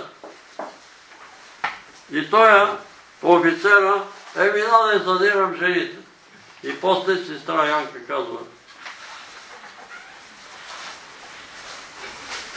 разболя се, вика от това Павлов, какво беше? На лимфите. Рак на лимфите. Разболя се от рак на лимфите. И аз отивам и говоря и му казвам, абе, помниш ли, молихме се при брат Петър, каза, че умреш, като не спреш да изневеряваща жена. А жена му вика една хубавица, красива, с две дечица като ангелци. А тая вика сигурно е магиоти. Тя такъв орел вика едно грозотило и той къде е тръгнал по тази жена, това хубав офицер вика и си умре и той. Умре си. И Господ ми каза, че отидат в пада и двама. Кога? Можеше ли двамата да бъдат спасени? Ма можеше, разбира. Как? Като спрат това да блудства, спри да, да прелюбодай. Защото не знаеш кога ще ти дойде призовката. Спри! Убийците! Казвал съм и тук, идва един мъж на нашото събрание, вика, брати и сестри, моли ми се, молете се за мене, нямам мир. Нямам мир. По цели нощи не мога да спа. Не мога, вика, да спа. Тия колите на полицията, на милицията ме познават, хода по улиците на София, посред нощ не мога да спа. Аз вика съм убият. Убих един човек. Ето тук по-надолу на улица Христо Ботев, един човек биеше една жена, и аз му го спри да бие жената и той като се извърте, удари един песник и аз извадих пистолета и го застрелях. А той бил жена си, фаналът се му изневерява и той я бил там, разкриха се нещата и ме вкараха мен в затвора. Излежах си, обаче сега не имам мир. И пише Библията, убиеца ще бяга до гроб. Без никой да го гони. Убийца ще бяга. Какво трябва да направи? И той се покайва. С а, количък бехме в а, Бобов дол, в мините, в затвора. И съобщиха там по радиоточката, който иска да дойде да се молиме за прошка на греховете, да приеме Господ Исус Христос. И дойдоха десетина души и двама души изповядаха, нали, че са извършили убийства. Единия беше от ромите и каза, че отишъл, имала информация, че в един дом нема никой, обаче те отварят вратата, той влиза вътре в коридора и вижда един старец и той и стареца го пита, какво бе, момче, нещо трябва ли ти? И аз вика го намуших с ножа и го убих. Оказва се, че този старец е дошъл, нали, този ден и го убих. И аз му говоря, че Бог е дошъл за убийците, за такива. Той вика, как ще ми прости, бе? Как ще ми прости, бе? Какво ми, какво ми прече това старец? Защо го убих, бе? Защо го убих, бе? може да е бил обладан от дух на убийство. Не знаем. така. Може да е бил обладан. Как ще ви прости? Но Господ вика ме наказа. Как те наказа? Брат ми и целият, му, целият ми дом, вика, го удари влака, удара им колата и ги изби всички. На един прелет. И сега на мен ми говори некъв дух и вика, убийцо, ти уби брат ти. Ти убий брат ти. Ма викам, той старост ти е брат, бе, човек. Той, който ще да е, той ти е брат, как ще посегаш да убиеш този човек? Как да ми прости? Другия 20 години, той беше на 15 години. Другия жена му имала някакви имали проблеми психични сигурно. От време на време взимала ножа и го заканвала, че ще убие мъжът. Обаче един път са се скарали много жестоко. Тя е замахнала с ножа, аз и замахвах и помна само до там, че и замах ножа и след това нищо не помня. И когато дойдох на себе си, видех жена ми, че съм я забил ножа в сърцето и съм я убил. 20 години съм го съдил. И има ли надежда за нас? Има. Има за вас надежда. Ето ти изповядаш греха си и той изповяда греха си. Се молим Бог. Бог ще ви прости, ако вие нали, го потърсите, защото за такива е дошъл. Но ако вие се останете убийци и не изповядате греха си и криете греха си, вашия грях ще бъде явен. Когато застанете пред големия бял престол, убийци, и Господ ще ви каже, ти ли сложи отрова в еди, на кой в храната? Ти ли отвъзна оня да падне и да се моби? Или направи това и това? Ти ли? Ама аз трябваше да се покоря на началник. Нека ме чуе брат Георги от Финландия. Имчо го пита, той е полицай. Ако ти каже началника, да стрели Петър Велев, ще го застреляш и той Еми аз вика изпълнявам заповед. И после вика не е верно, нали? Точно. После се отрича, но вика не съм го казал. Ами аз изпълнявам заповед. И ще ме гърмне. И после ми, Господи, той ми нареди началника. Началника ми нареди го гърма това Петър. Ами той ти е на- наредил началника, ма ти имаш ли главата работа? Защо го гърна? Защото от лейтенант иска да станеш майор. За това, нали? Ели да ти дадат от и платат. И по-натам, убийци. Има ли за тях? Има, ако изповядат греховете си и ги оставят. Има надежда и за убийци.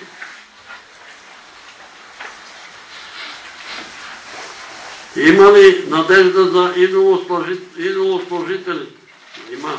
Има и за те, ако фърлят идоли. Ето, ние сме свидетели, че не могат да фърлят една книга на Дан Браун. Той е Дан Браун, който пише лъжи и клевети против Господ Исус Христос. И той не може. И вижте какво стана с брат Стефан. Той ни слуша. Да ме чуе.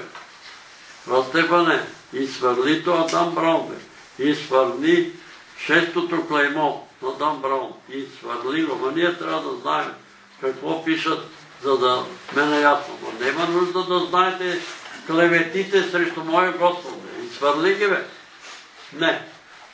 Сина му се разболя, изпадна в кома, пирогов. 38 дни пирогов. Абе, изхвърли тези книги, бе, Степане. И накрая той взима книгите, занася ги на двора там, налел ги, снаптали бензин, запалил ги и в момента му звъни телефона. Синът е излезна от кома и дойде е тук и го свидетел. Защо не мога? Ма това е идолопоклонство, разберете ме. Отиваме при една жена, която е парализирана с димчо. На нощното изкапче има две книги. Едната книга е Серафим Саров, а другата книга е Дан Браун. И без да знае, Димчо взима едната книга. Взима Дан Браун. И тя е парализирана. И се напълна на леглото, е така се изкриви и казва, книгата, дайте ми книгата, книгата ми дай. И казва, тази книга хули нашия Господ, бе, тази книга трябва да се изгони. Няма да пипате книга. Добре, тръгваме. Но няма ли да се молите? Няма да се моли. Нейната дъщеря беше говорителка в една от телевизиите и е починала, майки се е парализирана. И тази сестра на брат Петър не може за какво да се молиме? Тя е идолопоклонничка. И ние се молиме Бог да изцели и тя да продължава. Тая книга за нея е идол. Щом не може да се раздели с тази книга, тя е идол.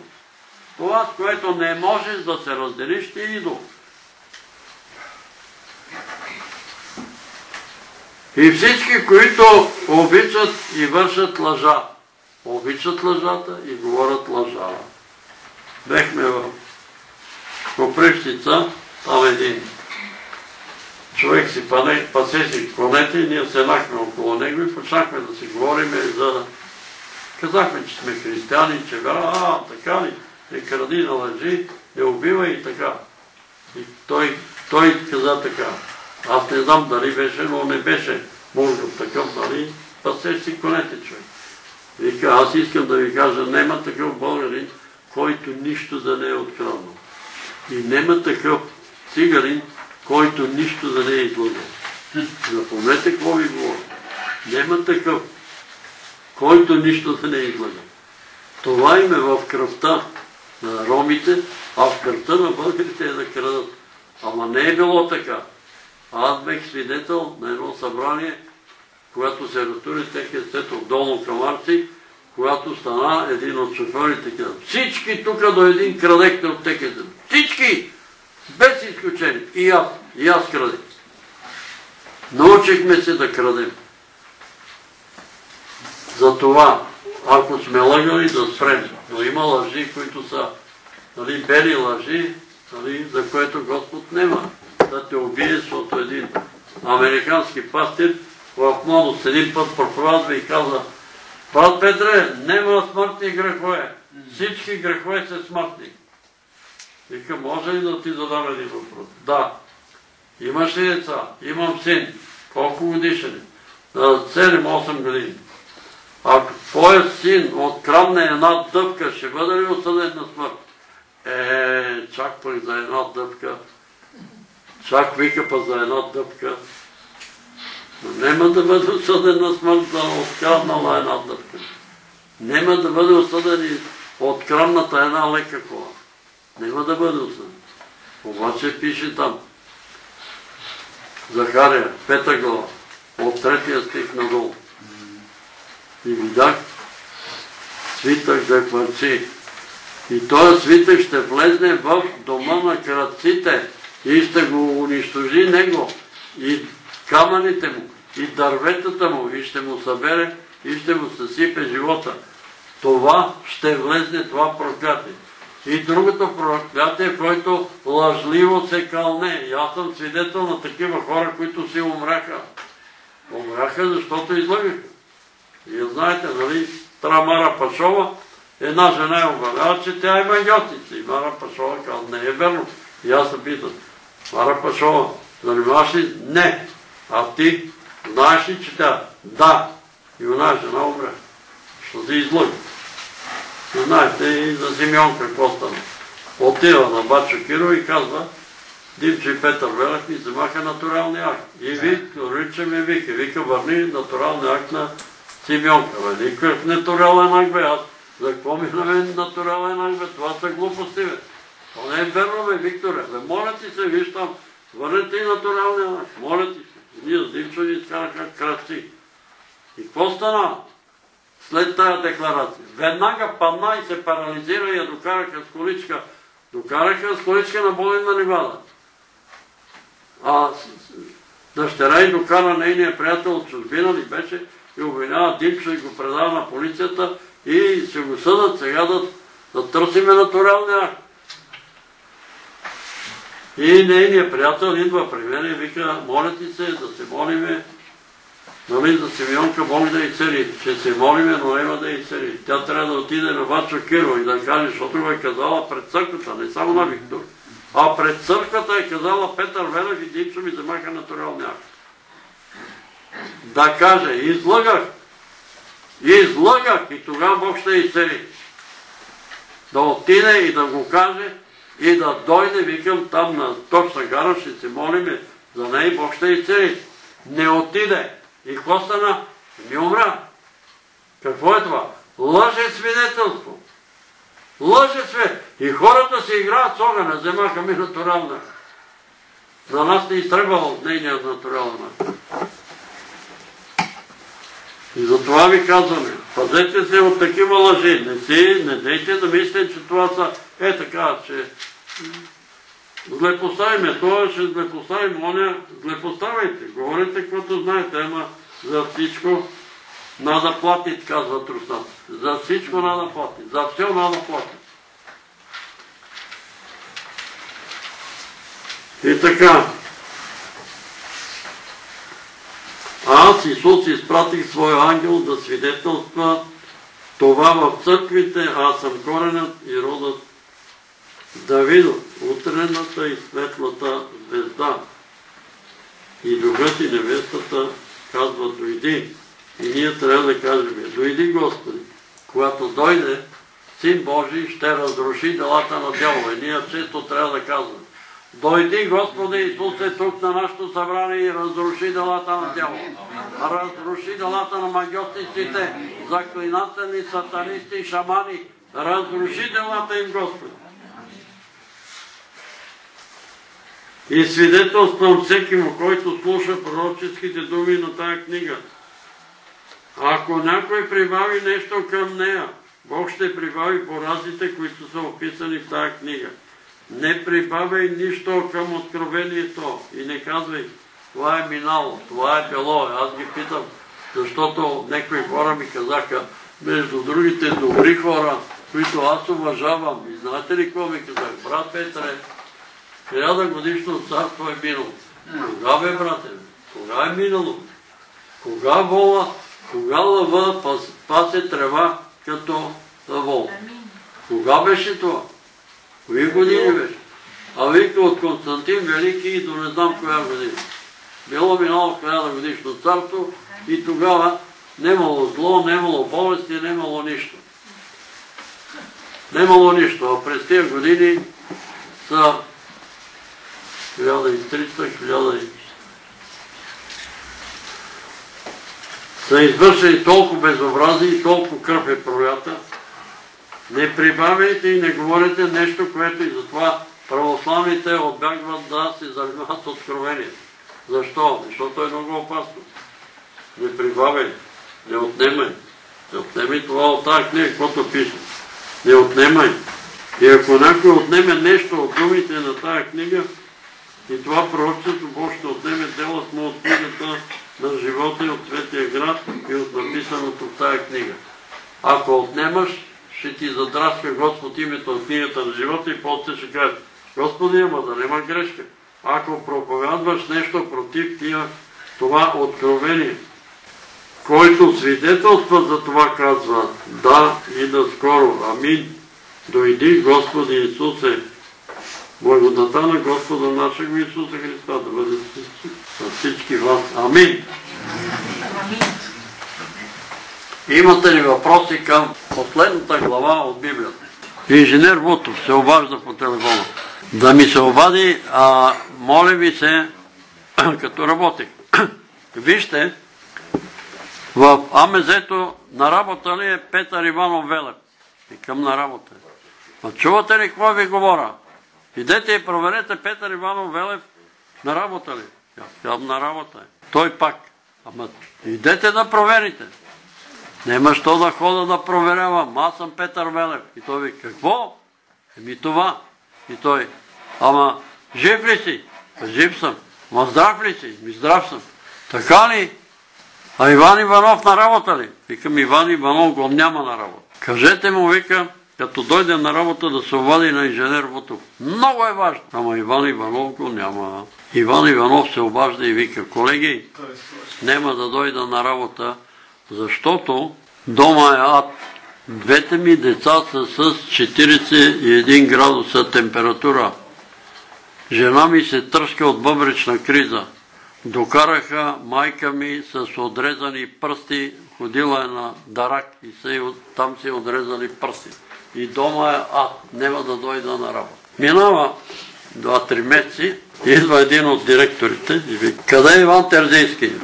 Викам, Иван Терзийски напусна предприятие. Защо? Защото го лъжете 20 години, че му дадете квартира и сте му дали един, една боксионера, той има две дъщери, едната е вече 18 години и къде да живеят? Две дъщери имат една стая, една, един бокс. И напусна, и къде е сега? Викам в Кревников. И веднага му даваха квартира. На Ботонец, там са му дали веднага. Е, що ме за квартира? Няма проблем. Защото аз като бех вика закъсал за квартира, ако беха ви казали застрели го това Петър Велев, ще да те застрелям. И Иванов се обажда. Шефе, ще го разстреляш, ама има провидение. Какво провидение, бе? Глупости. Провидение има, бе, човек. Ето тук го опитах на главата си. Е. Защото Иван Иванов ме почерпи с една а, вишната. Почерпи ме, аз се тръшках после. Но года, ето ме, жив, жив и здрав съм. А тия не знам дали са живи. Не знам живи ли са, здрави ли. Има проведение, разберете. Господ ни пази, слава на Бога. А има значение да се помолиш, когато пиеш вода и когато аз видех на времето, много давно беше. Това е преди 50 години. Е, в градинката между Народното събрание и университета имаше чишма. Там имаше чишма. И едно момиче отиде там пред чишмата, прекръсти се, помоли се и се наведе да пие. Аз съм го запомнил това. Може да не съм бил вярващ. Това момиче Господ ще го благослови и ще го опази. Затова молете се, дали пиете вода, дали швед, дали нещо, нещо ви дава. Господи, освети тая храна. Ако има нещо ГМО, ако нещо отровно, махни го, очисти го. Затова ви моля, моля ви се, не ми носете. Тук ни буркани, ни нищо, защото аз знам, че вие го правите от любов, ама не мога да го ям. Не мога, аз трябва да ям лека храна, защото имам проблеми. Сега тия проблеми трябва да се махнат. В името на Исус благодаря на Бога, че стоя жив и здрав между вас. Краката малко се отекли, но сега сигурно като се прибера, ще се прибрали. Сега ще се молиме и така завършихме Библията. Сега ще видим какво да правиме. Моето мнение е да започнем да разглеждаме по-отделно тия описани тук в Библията грехове, от които има опасност да се събудиме не където трябва. Не където трябва. А на страхливи и неверни, на мръсници и убийци, на блудници и магиотници, на идолостроди и на всички лъжци, делът им е в езерото, що гори слома и жупъл, то е втора смърт. Може би ще разгледаме по-отделно. Страхливите и неверните. Мръсниците и убийците. Отделно блудници и прелюбодеи. Отделни магиотници. Магиотници. По-отделно, за да видим не сме ли вътре ние, не сме ли се забрали да се изправдаме греховете. Сега ние ще се молиме, тук има бележки. Пак ви казвам, питайте, когато предлагате някой човек, вярваш ли Бога? Не вярвам. Искаш ли да повярваш? Защото вие го правите от добро чувство. Да се помолим за сестра Павлина и инсулт.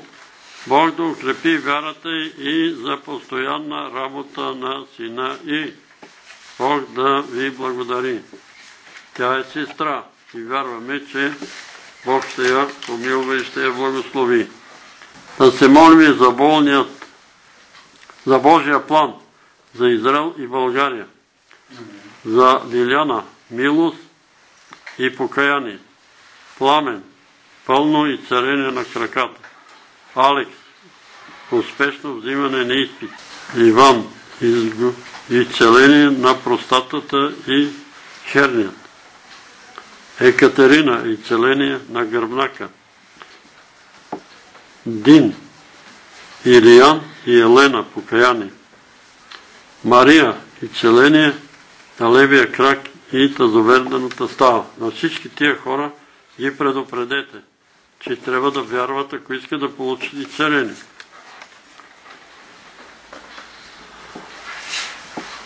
Брати и сестри, да се помолим за Йоан на 4 години. Има хиперактивност. Пищи от време на време и говори на много, но много малко. Да проговори по-добре и повече думи. Детето е неспокойно. Благодаря ви за молитвите. Бог да ви благослови. Едно такова дете в квартал Изгреб пищи, нощно време не може да спи. Отидахме ние с брат Лазар, дошъл някакъв лекар и казал, детето пищи, защото леглото му е сложено изток, запад, както погребават мъртъвците. Трябва да обърнете леглото на обратно. Да, и ние го обърнахме обратно, то пак пищи. Север-юг пак пищи, юг-север, детето пак пищи. И по едно време, както говорехме, аз се гледах над вратата отгоре, една фигура, и викам, кой е това тук над вратата? А това вика е Буда. А какво прави това Буда тук? А вика, той дава парички. Но това ли ще ви даде парички? Махнете това буклук тук. Помолите се ви, това е Буда, бе, това е Бог. Какъв Бог е, бе? Я ми даде това Бог, аз да го направя на парчета. Те махме ние Бога, излезнахме вънка, ма той е отливка, чугунена отливка не се чупи. Удараме търк, той накрая там от много такова от един камък от бордюра, брат Лазар бехме, той е по-як такъв, като го дигна, като го удари, Буда стана на парчета. И тази жена се обажда след една се. Брат Петре, какво? Детето спи спокойно, няма да крещи, няма да. Огледайте си дома, това детенце. Какво има там? Има ли го Дан Браун? Има ли нещо друго? Затова пищидете. Има нещо причина. Една наша роднина, на мой братовчет, нали там снахали, как се обажда. Отиваме ние с сестра ми в квартал Света Тройц, там до редута. Влизаме ние вътре, бебето лежи, пищи по цяла нощ, не мога да спът.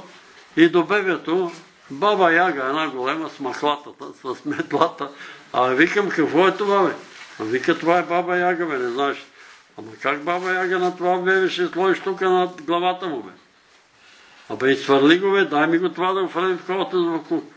Ама Чичо Петър не може, защото това е подарък от свекървата, вика.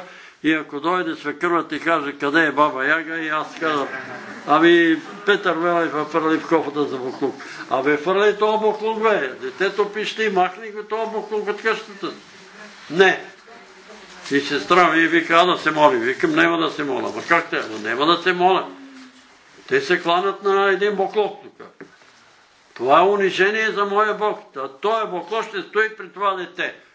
Е, трябва да се опомните. Ти вярваш ли? Вярвам. Е, кого вярваш? Твоя Бог кой е? Махай този Бог от къщата си. Очистете домовете си. Моля ви се. И тогава ще има резултат. Отиваме там на ценка, не знам, син ли беше, къв беше, и той има проблеми, нападени. И не мога да се моля. Спира ми се молитвата. Викам, виж какво нещо има тук, което в твоя дом, което трябва да го изхвърлиш. Вика, има тук един а, а, Буда дава парички. Да, ма ти вика, не го ли знаеш това, но това е толкова известно, вика, между тия компютърните специалисти, почти всички компютърни специалисти си имат Буда у дома, който им дава парички. Бе, Николай ли беше? Как се казваш? А викам, Ники, я ми го дай този Буда, аз да, да видиш какъв Бог е той. Ама не, ама ще се разсърдат, вика тук хазайте. Къде е? Ма заварене, вика на, на ламарината на това, на прозореца. Я да го видя. Отидах да го видя. Не мога да го махнем, защото той е заварен. Ето как като го ударих Буда и той падна отгоре от шестия или седми етаж. Викам, едо, видели това Буда какво представлява? Разбирате ли? Модерни идоли. Идолопоклонниците няма да наследат небесното царство. Брата и сестри, молете се за мен. Казвам се Ала. Имам от години задушаваща кашлица не минава от никакво лечение.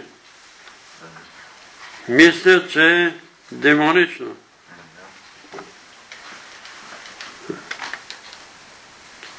Ваша сестра, Ала, да не е на Илия, На брат Илия. ама не знам.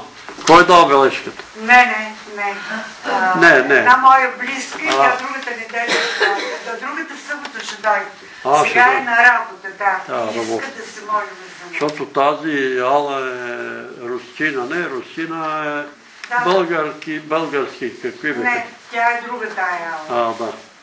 Тя е друга Ала, значи има и друга Ала, не само една. Банатска българка. Бог да я помила на брат Илия. И за нея се молим. И за нея се молим. И тук още бележки има. Брати и сестри, много ви моля отново да се молиме за сестра Таня. Има болки, има белия дроб, Бог да възобнови и мозъчните клетви. Амин. Се молим и за сестра Таня. Господ да я изцери и да я помилва и да я благослови. Добре. И тук тия бележки брат Христо ги дава, Лили Петрова, Павлина, сестра на 77 години, Веско. Сега ние говорихме тук за баща му, майка му, Баща му най-вече. преди всичко баща му и за Петър Чакъров, за милост, милост, Господи, и за Крушка, и за Петка от Добрич. Сестра Христина. А? Сестра Христина на брат Георги. Абе, къде е? А, по-надолу вече. За здраве на Алеша в Португалия, пълно освобождение, сили да не греши и защита. Свещеник Димитре и целение на очите, защита, служение, Галя Шевченко за здраве и за брат Александър и съпругата му. И това е, брат. Какво каза? Най-вече за здраве. Е, да, за и целение, за здраве на хората. Добре, да се изправиме. Аз имам един списък тук, ще се молим за тия хора. Светла, продължава главоболието, но имам и безсъние.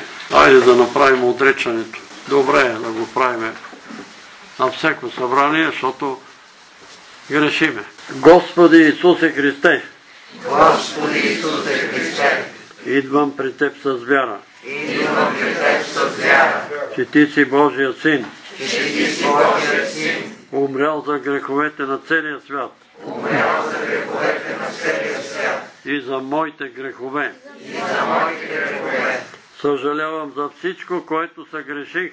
Съжалявам за всичко, което съгреших. с думи, мисли и дела, С думи, мисли и дела, волно и неволно, волно и неволно, съзнателно и несъзнателно. съзнателно и съзнателно. Моля те да ми простиш. Моля те да ми простиш. Аз от сърце прощавам Аз от сърце прощавам на всички човеци, на всички човеци, които са съгрешавали против мен. които са съгрешавали против мен. Моля те и ти да им простиш. Моля те и ти да им простиш. Почитам и обичам моите родители Почитам и обичам моите родители. И прародители. И прародители. До трета и четвърта рода. До трета и четвърта рода. И до десета рода, и до десета рода, но се отричам от греховете им, но се отричам от греховете им, от неправдите им, от неправдите им, от беззаконията им, от беззаконията им, от пороците им. от пророците им. Ако върху мен има проклятие, Поради мои грехове, поради грехове или грехове на мои роднини, унищожи го, Господи, и замени го с благословение, защото Ти като увисна на дървото на кръста,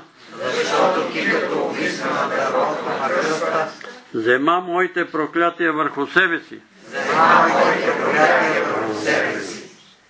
Ако срещу мен са изговорени клетви, Ако срещу мен са изговорени клетви, заклинания, заклинания, магиосничество. Магиосничество. И други сатанински дела. и други сатанински дела, Разруши ги, Господи, разруши ги, Господи, защото е писано за Теб. защото е писано за Теб.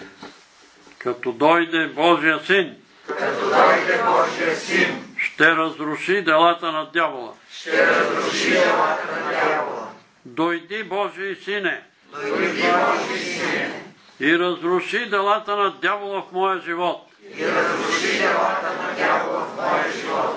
И разруши делата на дявола в моето семейство. И разруши делата на дявола в моето семейство. И разруши делата на дявола в Христовата църква. И разруши делата на дявола в Световата църква.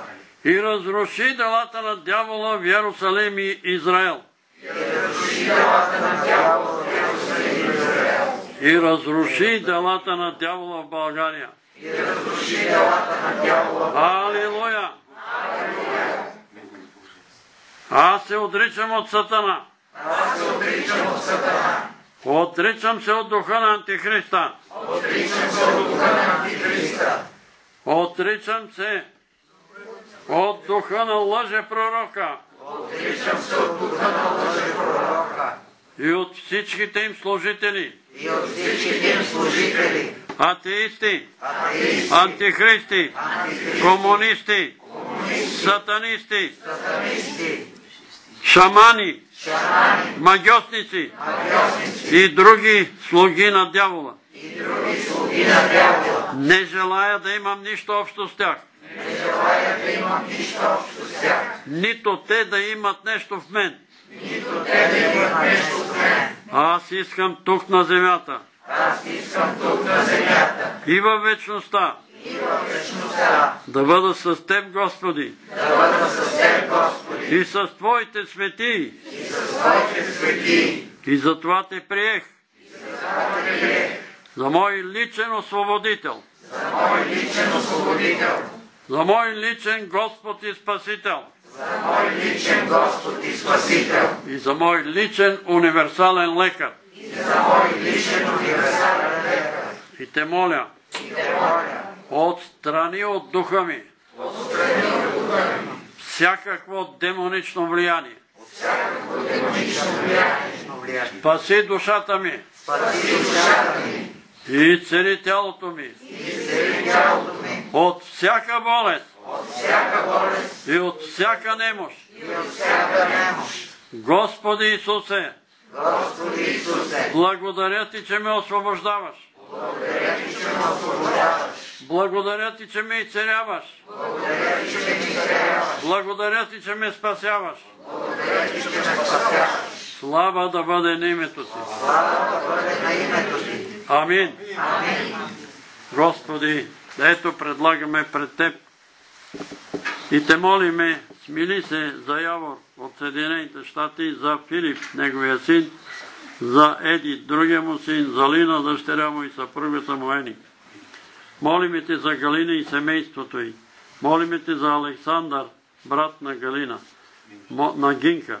Молиме Те за Мартин, освободи го от наркотиците и цигарите. Молиме Те за сестра Верка, разреши здравословните й проблеми. Молиме Те за сестра Весела за пълно и царение след операцията. Има още две весели, пак с същите проблеми. Молиме Те и те да ги помилваш. Молиме Те за Ели, Христо, Бойка, Весела и Мария за работа. Молиме Те за Жулиета, за изцеление на гърба и кръста. Молиме Те за сестра Сена, за пълно възстановяване на очите й. Молиме Те за Илия, за проблемите с простатата. Молиме Те за Ели Димова и цари от епилепсията. Молиме Те за Мария, за изцеление от твърждаване във вярата. Молиме Те за семейство, Митови, Спасови, Димови, за покаяние и спасение. Милост за Александър за нов дом. Милост за Игор, покаяние и спасение. Милост за Мария. Иванова, Владимир, Елена, Мария, Калинка, голямата Бойка, Елена, Димитър, Крум от Чехия, Мария от София, Мария от Костивер, от Силвия, за пълно изцеление и за защита и опазване от противника. Благодариме ти за техното и царение. Молиме те за Йоанита и Снежинка, Снежанка и за брат Петко в Англия. Молиме те за Цветана от Горна Оряховица за пълно и царение, съпругата на брат Сашо. Молиме те за Екатерина и майка и Диана. Имат здравословни проблеми, те са в Германия. Молиме ти за пълното възстановяване на брат Светан. Милост, Господи, за Пиданка от Кюстендил и Цария след операцията да бъде съвършено освободена и царена. Милост за Мил, Милена от Казанлак освободия от паникатаката. Молиме те за Теодора, Мариана и Кирчо, незрящите. Отвори, Господи, сърцата им. Молиме те за Павел и Теодора. Молиме те за брат Георги. Пълно възстановяване след инсулта.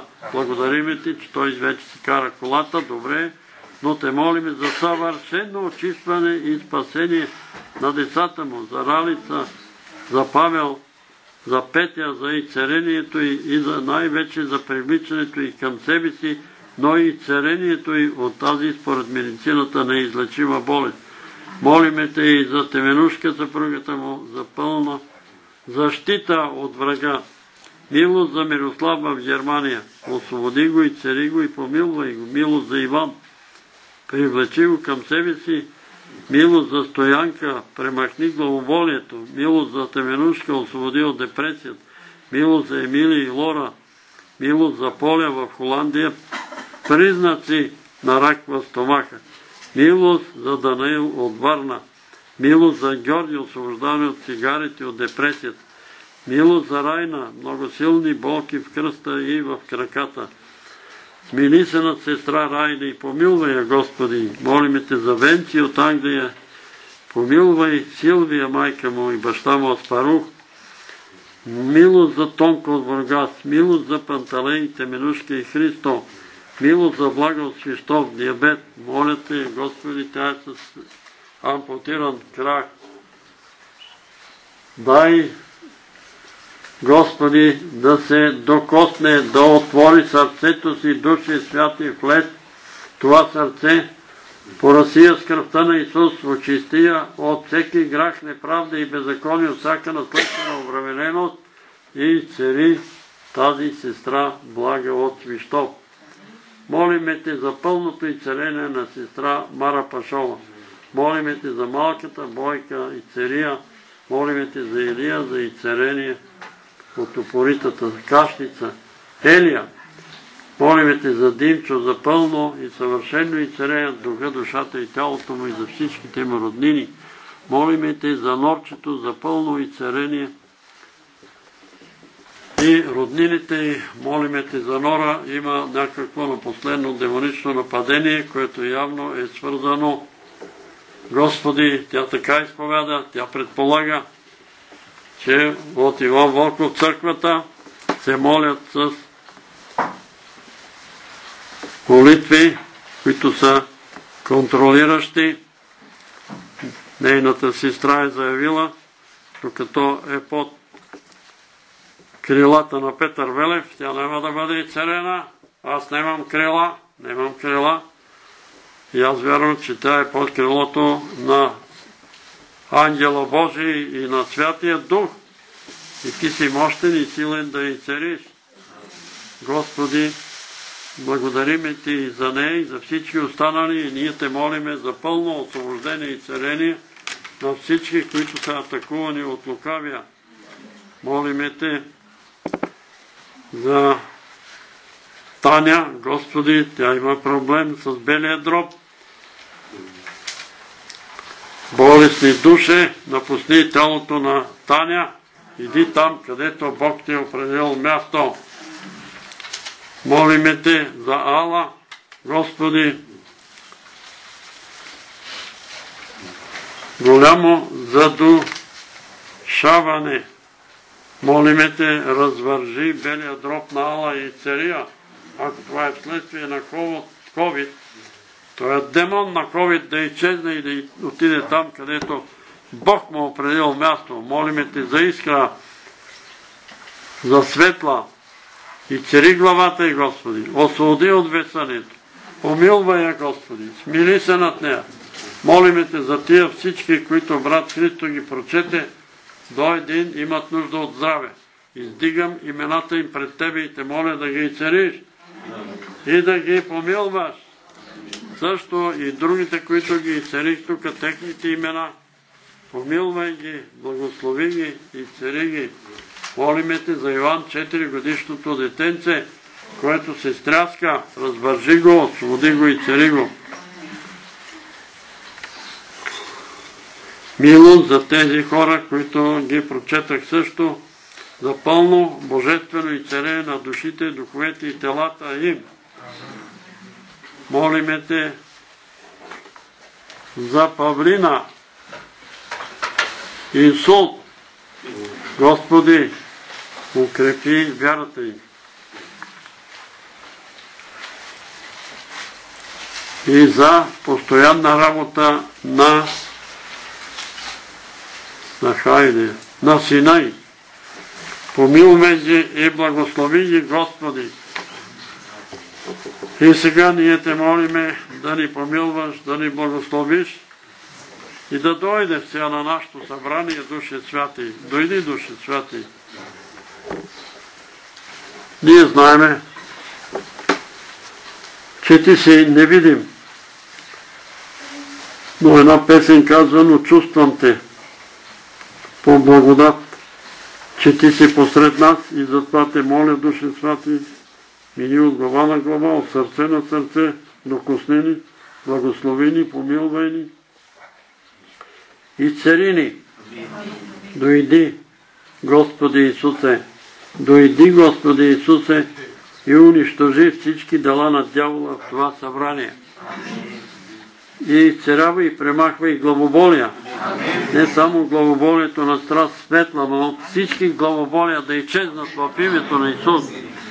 И очи, изцерява и уши, изцерява и гърла, изцерява и бели дробове, изцерява и черни дробове, изцерява и жлъчки, трахей, изцерява и стомаси, черва, изцерява и панкреаси, изцерява и кости, изцерява и стави, изцерява и бъбреци, изцерява и генетали, изцерява и мускули, жили, стави, изцерява кожни заболявания, стопява и унищожава и туморни и ракови образования. Слава да бъде на името Ти. Изцерява и душевни заболявания, психични отклонения, демонични нападения. Моля те, изцерявай и развързвай душите на Твоя народ. Молиме те сега за Израел и за Иерусалим. Мир в Иерусалим.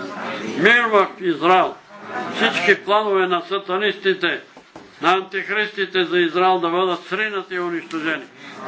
Всички планове за България да бъдат съсипани и унищожени.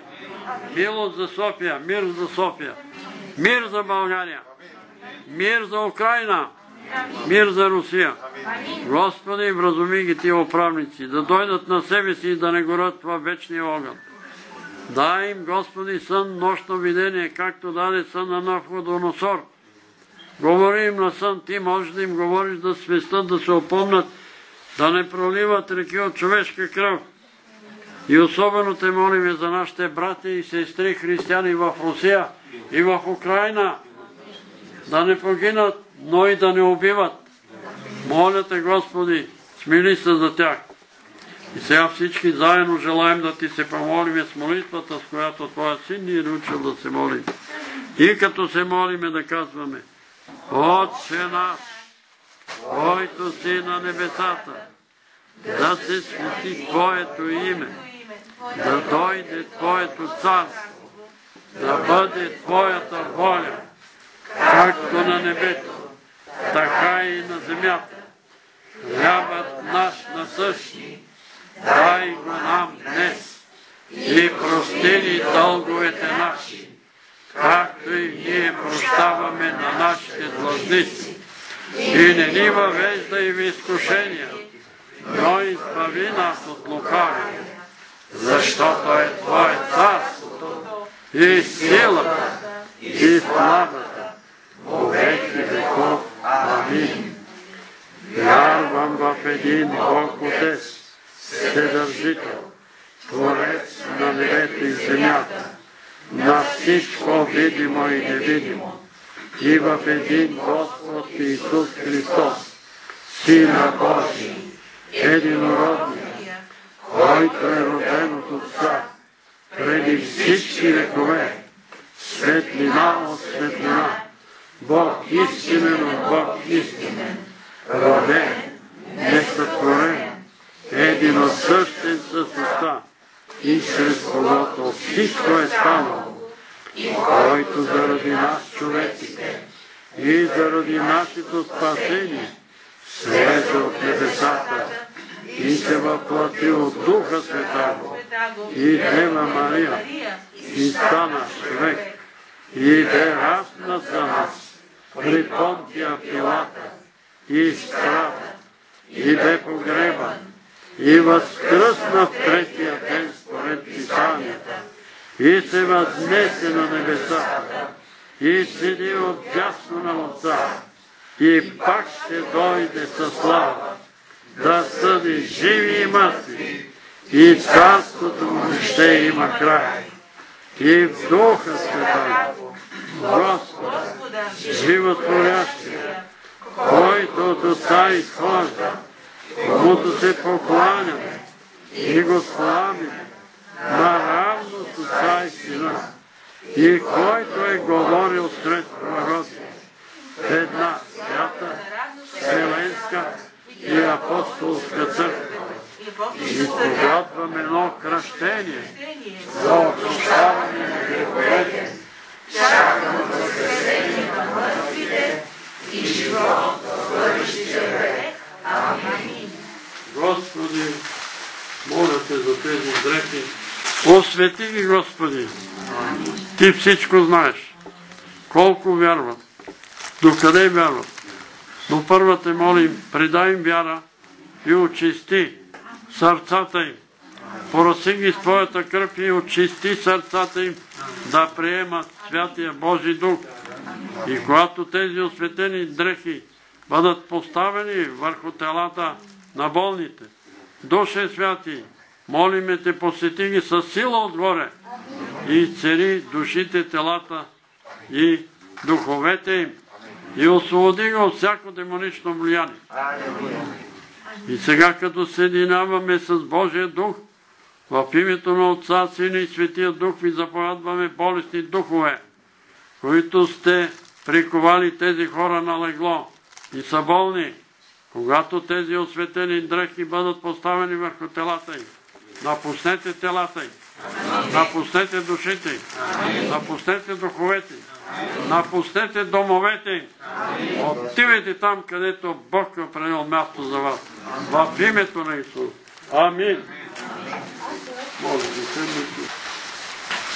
По време на отричането така, почти през вълни и такива топли вълни върху мен. Сигурно. Не го подценявайте това отричане. Вярвайте го, отричаме се от Сатана, от всичките му дела. И Господ ще ни пази, ще ни помага. За Мартин. Не знам, че само един, едно име ли беше Мартин, но нещо така птица като бухал се мерна, така, само че не в полата, така долу на земята. Бухала и совата в Америка са на почет, защото ядат мишки. И им правят специални къщички по полетата, за да може, но в България не са на почет, а са символ на, на тъмнина, на мрак, на лъже пророчество. Ами лъжливо учение. Мартин се е забил там в този будизъм, не разбира, че аз съм една капка, Буди казва, нали, и ще се слея с океана. Океана е Бог и ти ставаш Бог заедно с океана. Едно име Цветан. Цветан, не брат Сечо, да. Много по-добре, но Ама не знам дали нашия брат Цецо или друг. е Цветан. е- Простор без, простор без дрехи по него. Какво? Простор. да се простират дрехи, външно, отвън е сложен простор, а, такива два железни кола, опърнати, Попълнат простор. да, Еми, изправи са дрехите му и ги е прибрал си. Списъка, който аз тук така брат Христо предлага, като почна да говори за Да, този да, списък, тия. а, сега не мога да разбера. Е, това е нещо като, като отбелязано или като В, ама не мога да разбера дали е отбелязане или поведе, не знам. Буквата е като, като чак. Ами отбелязано е, имената са записани за молитва, но Бог чака да се смират и да се покаят. Защото Той иска да ни цели, обаче ако ние се съмняваме, колебаеме, а Бог ни е отхвърлял, Бог затова ли е умрял, за да ни отхвърли, но такива мисли навяват на болните, като е болен човек, ле, Бог ме е отвърнал. Бе, не те е отвърнал. Минаваш през някои изпитание, болест, ще се оправиш.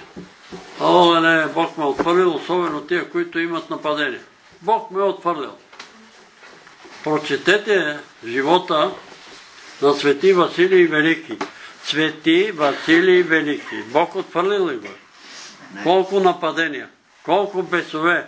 Явявали са му много бесове. И той накрая им казал, е, ако сте толкова силни, защо сте дошли толкова много? Нали сте много силни, бе, бесове. И защо идват? Ами, идват, защото идват на изпитание. Господ казва, особено когато говорим и ние велики работи, и почваме да се перчиме, и Бог ни пусна един такъв мъничък дявол, да видиме колко ни е силата. И тогава се чудим, ама Господи, ти си ни отвърли. Защо ни отвърли? Затова ли умре, за да ни отвърли? И сега преди две-три служби. Тия, които ти казват, че съм ги отвърнил, да си цитират, да си повтарят. Йоанна 3.16. Йоанна 3.16. Бог толкова обикна света, че даде своя единороден син да не погине. Ни един, който вярва. Вярваш ли в него? Вярваш ли в него? Ми вярвам. Е, къде те е отвърнал? Значи, лъже ли Господ? Повтаряйте. Изпитанията идват, защото за себе си имаме по-висока. Ако се смирине, до земята няма да имаме изпитания. Щом се перчиме, изпитанията идват. Бъдете сигурни. Я ми го дай дявол, ще кажа, като на Йов. Я това да го изпитам, Петър Вале, дето много знае да приказва.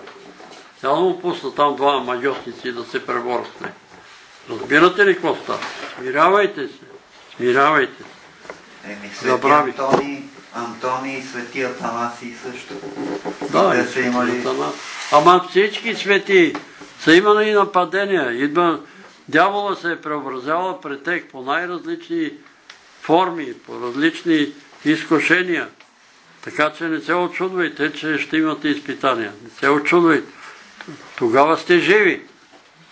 А те, които, нали аз ги чувам, за съжаление, има християни, които мрънкат, че имат изпитание, че е такова. Няма такова нещо. Ние нямаме никакви изкушения, ние пееме, свириме, ние сме богати, ние това. Горкови, ако нямате изпитание. Горкови, ако вие нямате никакви изпитания. Тогава Бог ви изоставя. Тогава, когато продължавате да грешите, Бог не ви, не ви изобличава. Ако грешите и Бог не ви изобличава, горкови. Какво значи тогава? Ми незаконно родени синове сте. Щом немате изпитания? Вие сте християни без изпитания. Ще имате изпитания. Исус казва. Какво казва Исус? Какво ще имаме? Скърби. Света, ще имате много скърби, но дързайте. Аз победих света. Ще имате скърби. Щом кажеш в едно общество, че си християнин, веднага гракват срещу тебе, веднага гракват. Ако си с тех заедно, айде да име да се напиеме, отиваме да се напиеме. Айде да име да откранваме, отиваме крадем. Никой не те закача. Те те радват, е, ти си голема работа. Ти си голема работа. А като кажа, не, аз няма да дойда, аз съм християнин. Е, ти не си дявол, вик. Аз и не искам да съм дявол. Колегите ми казват, Петре, ти не си дявол, бе. А защо трябва да съм дявол, бе? Аз съм човек, бе, не искам да съм дявол. Вие като сте дяволи, правете каквото знаете. И затова ви казвам, ако крадете, лъжете и вършите безобразие и не бивате изоличавани, горкови тогава. Горкови, казвай пак. Илия, бащата на Веско с простатата. Ами, аз ти миналия път казах изповед по мирния договор. Така. За изцерени от различни болести. И това го казах. Да се замислят хората. Каква е причината? Няма начин болестта. Болестта може да е за прослава наистина. Може да е като при Йов, ама все пак да се позамислят. За брат Мирослав виждам един светофар, който мига жълта светлина. Тоест, внимание, миналия път беше знак стоп, Стоп. сега е светофар, който съвсем ясно с- свети жълта светлина мигаше. За Нора. Пак така един малък самолет тип честна и се опитва да се издигне, обаче още няма мощност да го направи. Тръгва да излита, ама още мощност му трябва. Уния, които я познавате, имате добри намерения, тя усеща, че някой се моли за нея с обратни молитви. А, Тя го усеща за защита. Има се хора, които, нали аз ви казах, че някои доброжелатели са и казали, че докато вярва на Петър Велев, няма да бъде напълно и царен. И като повярва, да не казвам на кой, на оня пастир там, който ги учи да се откажат от Святия Дух, тогава ще бъде освободено. Да се откаже от говорени езици, от дарбите и тогава тя ще бъде освободена. И имало такова, аз не съм го гледал, но тук има един брат, който го е гледал. Сега ще видите едно голямо свидетелство. Много голямо свидетелство, предавано по теле... Това беше християнската телевизия. Излиза една сестра и каза, слава на Бога, аз говорех на езици и вече се отказах от тия езици и сега съм много добре. И сега съм много добре. Е, как не е могъл апостол Павел да се сети да направи такова едно велико свидетелство и да каже аз се отричам от езици. Те ми е казал повече от всички вас говоря на незнайни езици. Кое е по-големото свидетелство? На апостол Павел или на тази жена? Че се е отрекла. От кого се отрече? От Святия Дух. Това искат от Нора. Да се отрече и тогава ще цъпне. И всичко ще бъде добре. И всичко ще бъде добре. Сестра създадох. Ами, изповед по мирния договор. Според мен тук има демонично нападение. Аз имам една колежка, която кашля зверски и се поддържа с кортикостероиди, вика от 10 години съм така, ама кашля зверски. И не се оправя. Има просветление и после пак почва. И това явно е и задух, да? Защото аз съм кашлял коклюш и знам какво е. Има още нещо, Панчо, извиняй. Да? Безпричинната кашница, това, което аз имам като откровение, е присъствие и атака на сексуален демон. И ние сме свидетели на хора, които са изповядали, нали, пред мене, Тимчо, верно ли е това? Точно така. Без причина кашница. Не е настигнал човека, не е и като му кажем, прави ли това, правих, а това прави ли, правих. Айде сега да се помолим, Господи, човека изповяда греховете си и ти казва, ако изповядаме греховете си, той е верен да ни прости греховете и да ни чисти от всяка неправда. И човека спира да кашля. И това на няколко души, и сега последния път ми се обади една сестра, без причинна кашница. Викам, сестро, семейно си, да. Мислиш ли за друг мъж? Абе не мисля, ама там един ме в работата ме обикаля. То да те те обикаля е обладан. То е обладан от такъв демон. И той те натоварва. И когато отидеш в общение на такива хора, може да те натоварят и ще почне да кихаш и да кашляш. И ние се молим и аз вярвам, че тя се обади и ще каже край с кашлица. Така че предупредете я тази сестра да си спомни да не е изневерявала на мъжа си. Да не е изневерявала с семейен мъж. Много е важно това.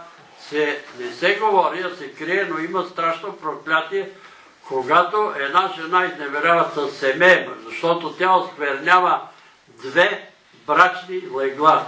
И Господ каза, че брачното легло е свято. И тя е, по този начин осквернява две свети и ние сме свидетели с Димчо на такива си. Е, ако не бех аз, тя, той ще, ще си намери друга. Ама тя другата ще попадне под проклятие. Ако не бех аз, той ще си намери. Беше едно. Осквернила си твоето брачно легло и на мъжа брачното легло. Даваш ли сметка, Косер? Е, една авантюра, голема работа. Е, тая авантюра ще ви заведе къде не трябва. Ако не се покаете. За това ви казвам за тази сестра, че това е причината, но много често причината е сексуален демон. Спомняте ли си, Антуанета ли беше? Там, с патерица. Да. Какво стана? Идваше с патерица на Божия. Идва спа, моли ми се, моли ми се, моля, няма резултат. Един път стана и каза, аз знам причината. Изневерих на мъжа. И какво стана? Слезнах от Амона, помолихме се, и когато се молихме, да, болките изчезнаха, първи пъти. И тичаше по край. Кога? Когато каза, изневерих на мъжа. И край. И патериците стояха там закачени за да ако си спомняте доста време. Така че има причина. Панчо е прав. Замисли се. Каща, полиме сега. Не обвинявам никого. Много хора ги бъдат ставите, костите и мен ме бъдат. Замисли се, защо? Сега не знам, Димчо ви напомня, нещо съм се вързала. Сънувам сън, че на двата ми крака има вързани по един камък. И тия камъни ми тежат. И аз се мъча да ги махна. И единия го махнах от единия, той се закачи за другия крак. От този крак го махна камъка, той отиде на другия. И накрая, на краищата, успях и двата камъка да ги махна. Молете се за мен Бог да ми открие какви са тия камъни. С краката си съм ходил, дето не трябва да ходя. Дето не трябва. Господ ми е казал, не отивай там, аз може да съм отишъл. Примерно казваме, не влизай в сладкарница. Аз знах там в една лавка. Той ми каза, не влизай в сладкарница, вземали са решението от трова. И аз не слушам и забравям. Господ да ми открие тия камъни от краката да ги ритна и да се махнат.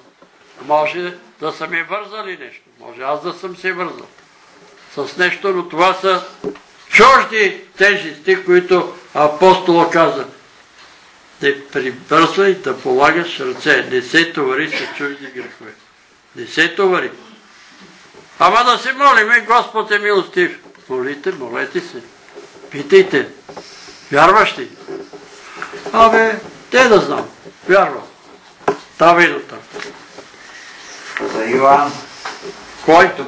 Йоан. Детенцето, Йоан. А, едно куче, светло кафяво, средно голямо. Ама... Добро ли? Не кажа каква порода е, с, без много косми.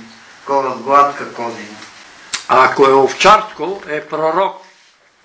Да не винат това дете да са пророкували някой нещо.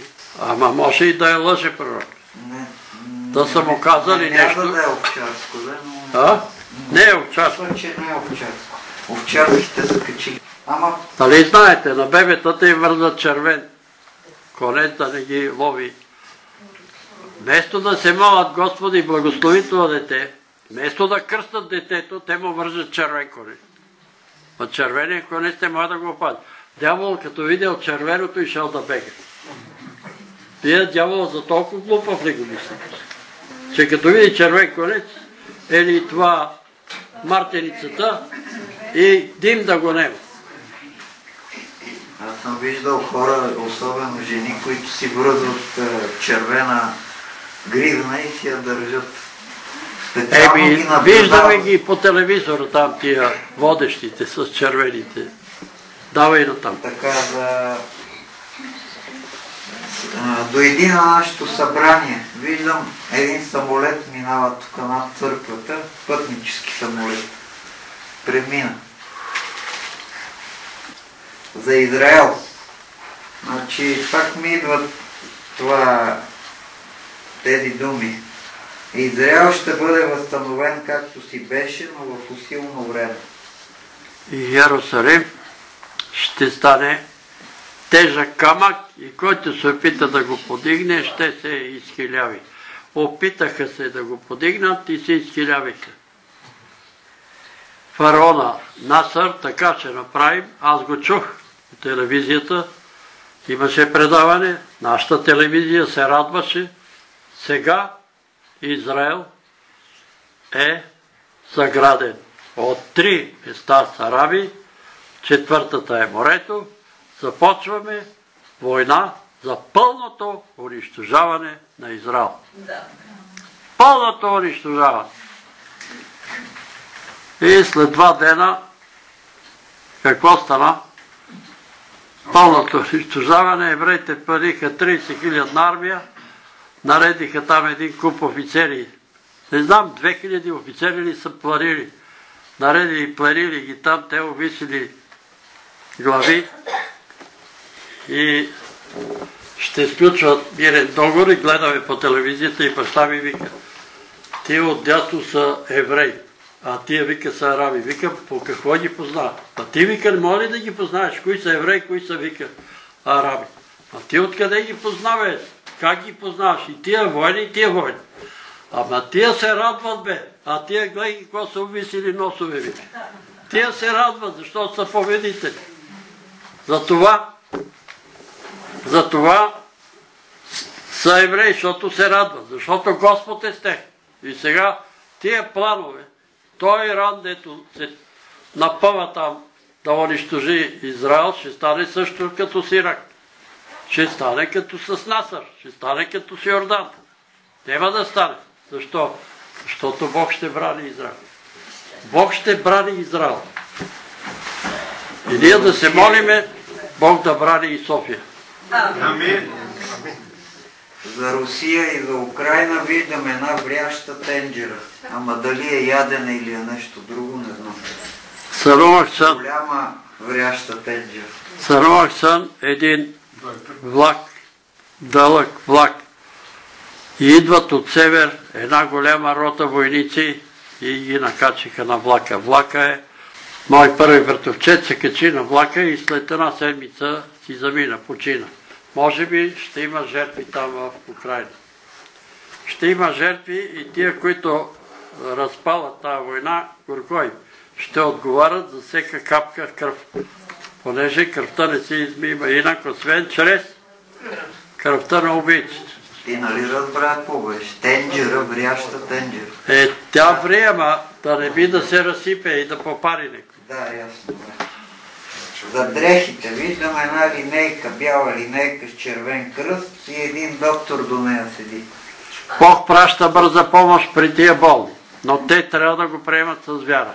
Абе, просто трябва да кажат, Господи, когато носите тия дрехи, кажете на болния, да каже, Господи, благодаря ти, че показваш милост към мен и Господ ще покаже милост. А ако каже, еми да опитаме, я стане, я не стане, по-добре не взимай дрехите. По-добре не взимай дрехите. Я стане, я не стане. Господи, благодаря че показваш милост към мен. Давай. Бог да ви благослови. Така. Друг има ли? Този пакет не е мой. Некой ми е взел дрежката. Некой е вземал дрежката. Размяна. Панчо Шуш. А, я вижте там. Сестра Верке, да не взема чужда дрежка. Я виж. Вижте, вижте. А, ето. Ето, ето, ето. Подобно. Е, грешки. стават грешки, но аз знам, че, да, че стават и умишлени неща. Стават умишлени, ние сме свидетели, такива дрехи изчезват и след това болните имат големи проблеми. Затова, като дадете дреха тук, после си я потърсете да си я вземете. Защото има злонамерени хора. Си има тая дрежка, носи я в гробищата, зарава и почва да кълни. Затова си взимайте дрехи. Добре, да се изправим. И сега благодата на нашия Господ Исус Христос, любовта на Бога Отца, общението и ръководството на Святия Божий Дух да бъде с всички нас, с домовете ни, с чадата ви, с родовете ни, с църквата на Господ Исус Христос на това място, в град София, в цяла България, в Иерусалим, в Израел. И по целия свят, от сега и до века. Амин. Божия мир и Божията Трябва да се молиме и да бъде и в Армения, защото тази църква, не знам дали знаете, но е за Армения. Армения. Но, добре. Една заря. Една заря, която се молим и за мир.